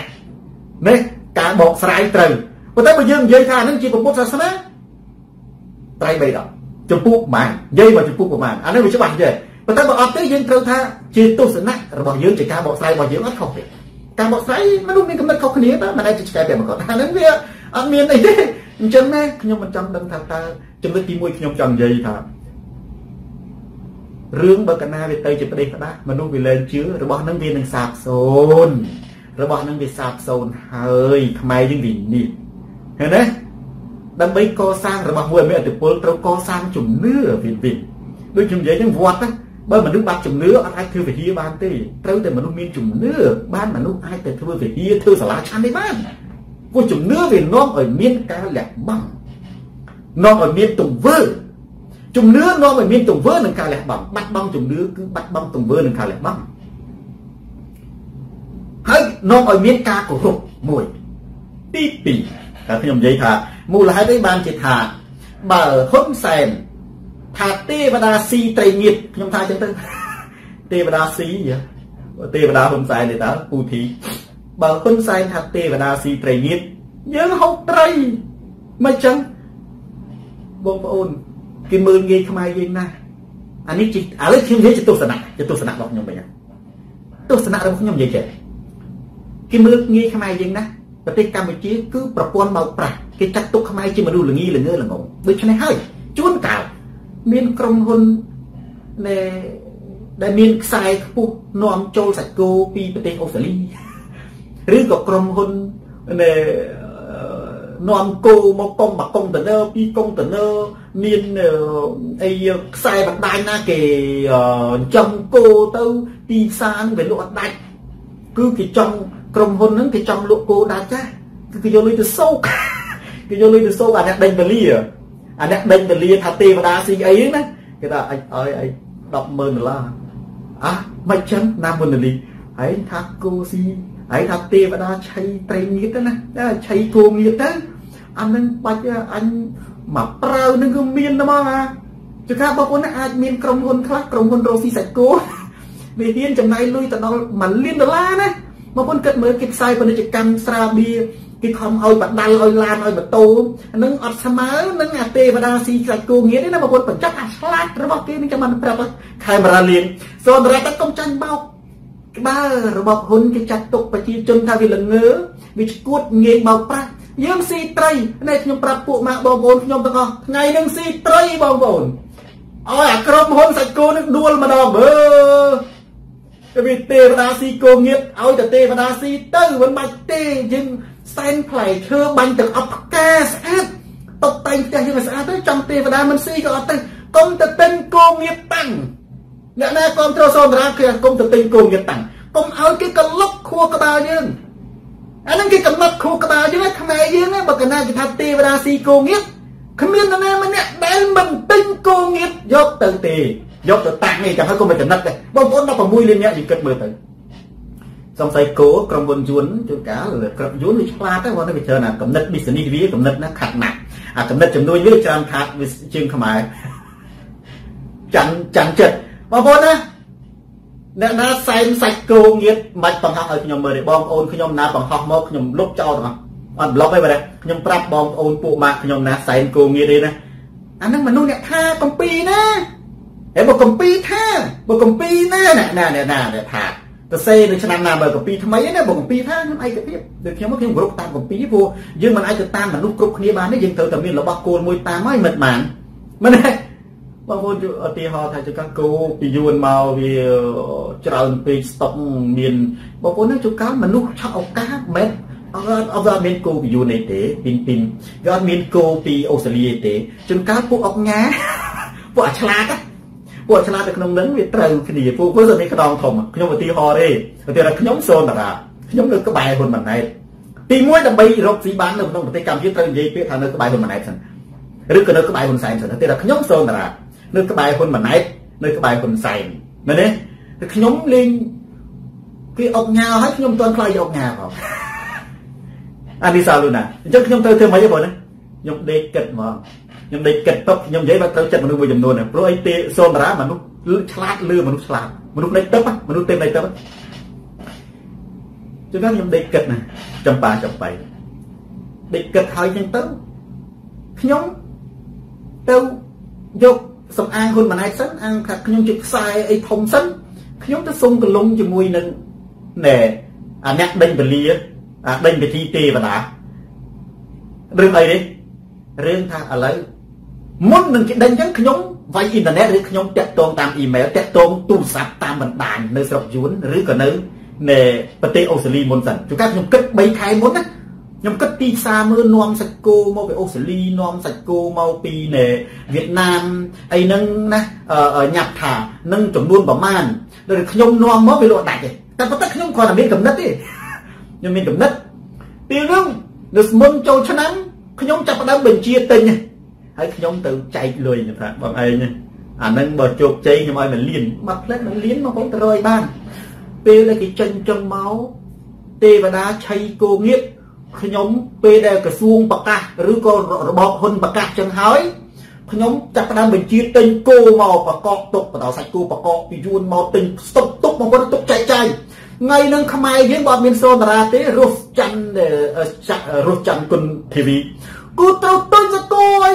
ដាច់បងប្អូនគ្រាន់តែមកចូលឆ្នាំហ្នឹងខ្ញុំសូតារាខ្លាយជាប់ញ៉ាដោយមិនដឹងខ្លួនមក50លានដុល្លារមិនខ្វះបងប្អូនយកគុណប្រជាជនប្រមាណមកនេះ បុកមកមានលុយដាក់អង្គញាពឹកទៅជួយកាកបាទក្រហមពឹកជួយគណៈបព្វជិជនពឹកហ៊ុនម៉ាណែតឃើញតែងតាំងពឹកមានខ្នងពឹកដើរបើកក្រុមហ៊ុនបោកទេបដ ாய் ខ្ញុំខ្ញុំសូមតារាជីមលោកគាត់ហើយណាប៉ុន្តែចៃដន្យសូនតារាមិនមែនជាមនុស្សចឹងទេភូមិកំពូលឧត្តមមែនទេអានឹងដែលខ្ញុំចង់និយាយថាខ្ញុំកាយយកអត់ដឹងថាអាគេថាទេវតាស៊ីសាច់គោទេវតាស៊ីគោងៀតទេវតាទេវតាស៊ីឆ្លុះហ្នឹងអូអាទេវតាស៊ីឆ្លុះបាបហ្នឹងណា នាំមនុស្សទៅបាញ់ឆ្លុះក្នុងព្រៃអានឹងធ្លាក់នរកអានឹងឧក្រិដ្ឋកម្មត្រូវស៊ើបអង្កេតអាណាថាទេវតាស៊ីឆ្លុះព្រោះអានឹងសាច់កំពុងកម្រណាស៊ើបអង្កេតរឿងទេវតាចាក់ទេវតាដាក់ខ្នោះបាយបាយគោដាក់ខ្នោះយើងមិនមាននិយាយលេងទេហ្នឹងហើយរឿងស៊ីសាច់គោ 100%បងច្បាស់ហើយច្បាស់ជាមានអាណាវីរុស៊ីនាំគោពីស្រុកយួននាំគោពីស្រុកអូស្ត្រាលីមកហើយវាទៅសោកគេហ្នឹងដើម្បីឲ្យថាទេវតាស៊ីសាច់គោដើម្បីវាខ្លាយជាអ្នកមានក្នុងប្រពន្ធភ្នែកអាហ្នឹងគេហៅថាអាឆ្លាតដោយគ្មានអាណាដឹងប៉ុន្តែមានសូនតារាដឹងមានន័យថាអ្នកឯងលែងឆ្លាតបាត់ហើយឆ្លាតមានន័យថាគេអត់ដឹងបើខ្ញុំដឹងអ្នកឯងលែងឆ្លាតព្រោះអាហ្នឹងវានៅលើបាតដៃរបស់ខ្ញុំវិជាអញ្ចឹងព្រៃច្បាស់ ដោយសារតែពេលវេលាមានកំណត់ខ្ញុំបញ្ចប់ចំណេះប៉ុន្តែមុននឹងបញ្ចប់នៅសល់1នាទី2នាទីខ្ញុំចង់អានខមមិនបងប្អូនព្រោះរងដងតែតែចប់មិនដែលបានអានខមមិនទេបាទឥឡូវយើងចូលទៅគ្រីស្ទីណាប៉ុលបាទល្អណាស់ណាមានឡុងសុភ័ក្រសំណាងហើយទេវតាអត់សោយទឹកដោះគោអឺអើបាទចុះមិនព្រមថាទេវតាសោយស្វាយបើចង់ជួយពលរដ្ឋខ្មែរមែនបើខ្ញុំហ៊ុនសែនណាបងប្អូន ខ្ញុំហ៊ុនសែនខ្ញុំមើលឃើញមើលថារដូវនោះរដូវស្វាយប្រជាជនកំពុងចាក់ចោលខ្ញុំថាទេវតាសោយស្វាយមិនថាចឹងមកបងប្អូនល្អបានបុណ្យណាថាទេវតាសោយស្វាយបានបុណ្យណាមិនចឹងអានេះខ្ញុំលើកទឹកចិត្តមកថាទេវតាសោយស្វាយបងណែអានេះខ្ញុំឲ្យបងប្អូនយើងត្រូវទិញស្វាយសែនទេវតាទាំងអស់បងប្អូន7 10លានអ្នកមិនមែនមកផ្ទះទិញស្វាយមកគូមកគូទៅ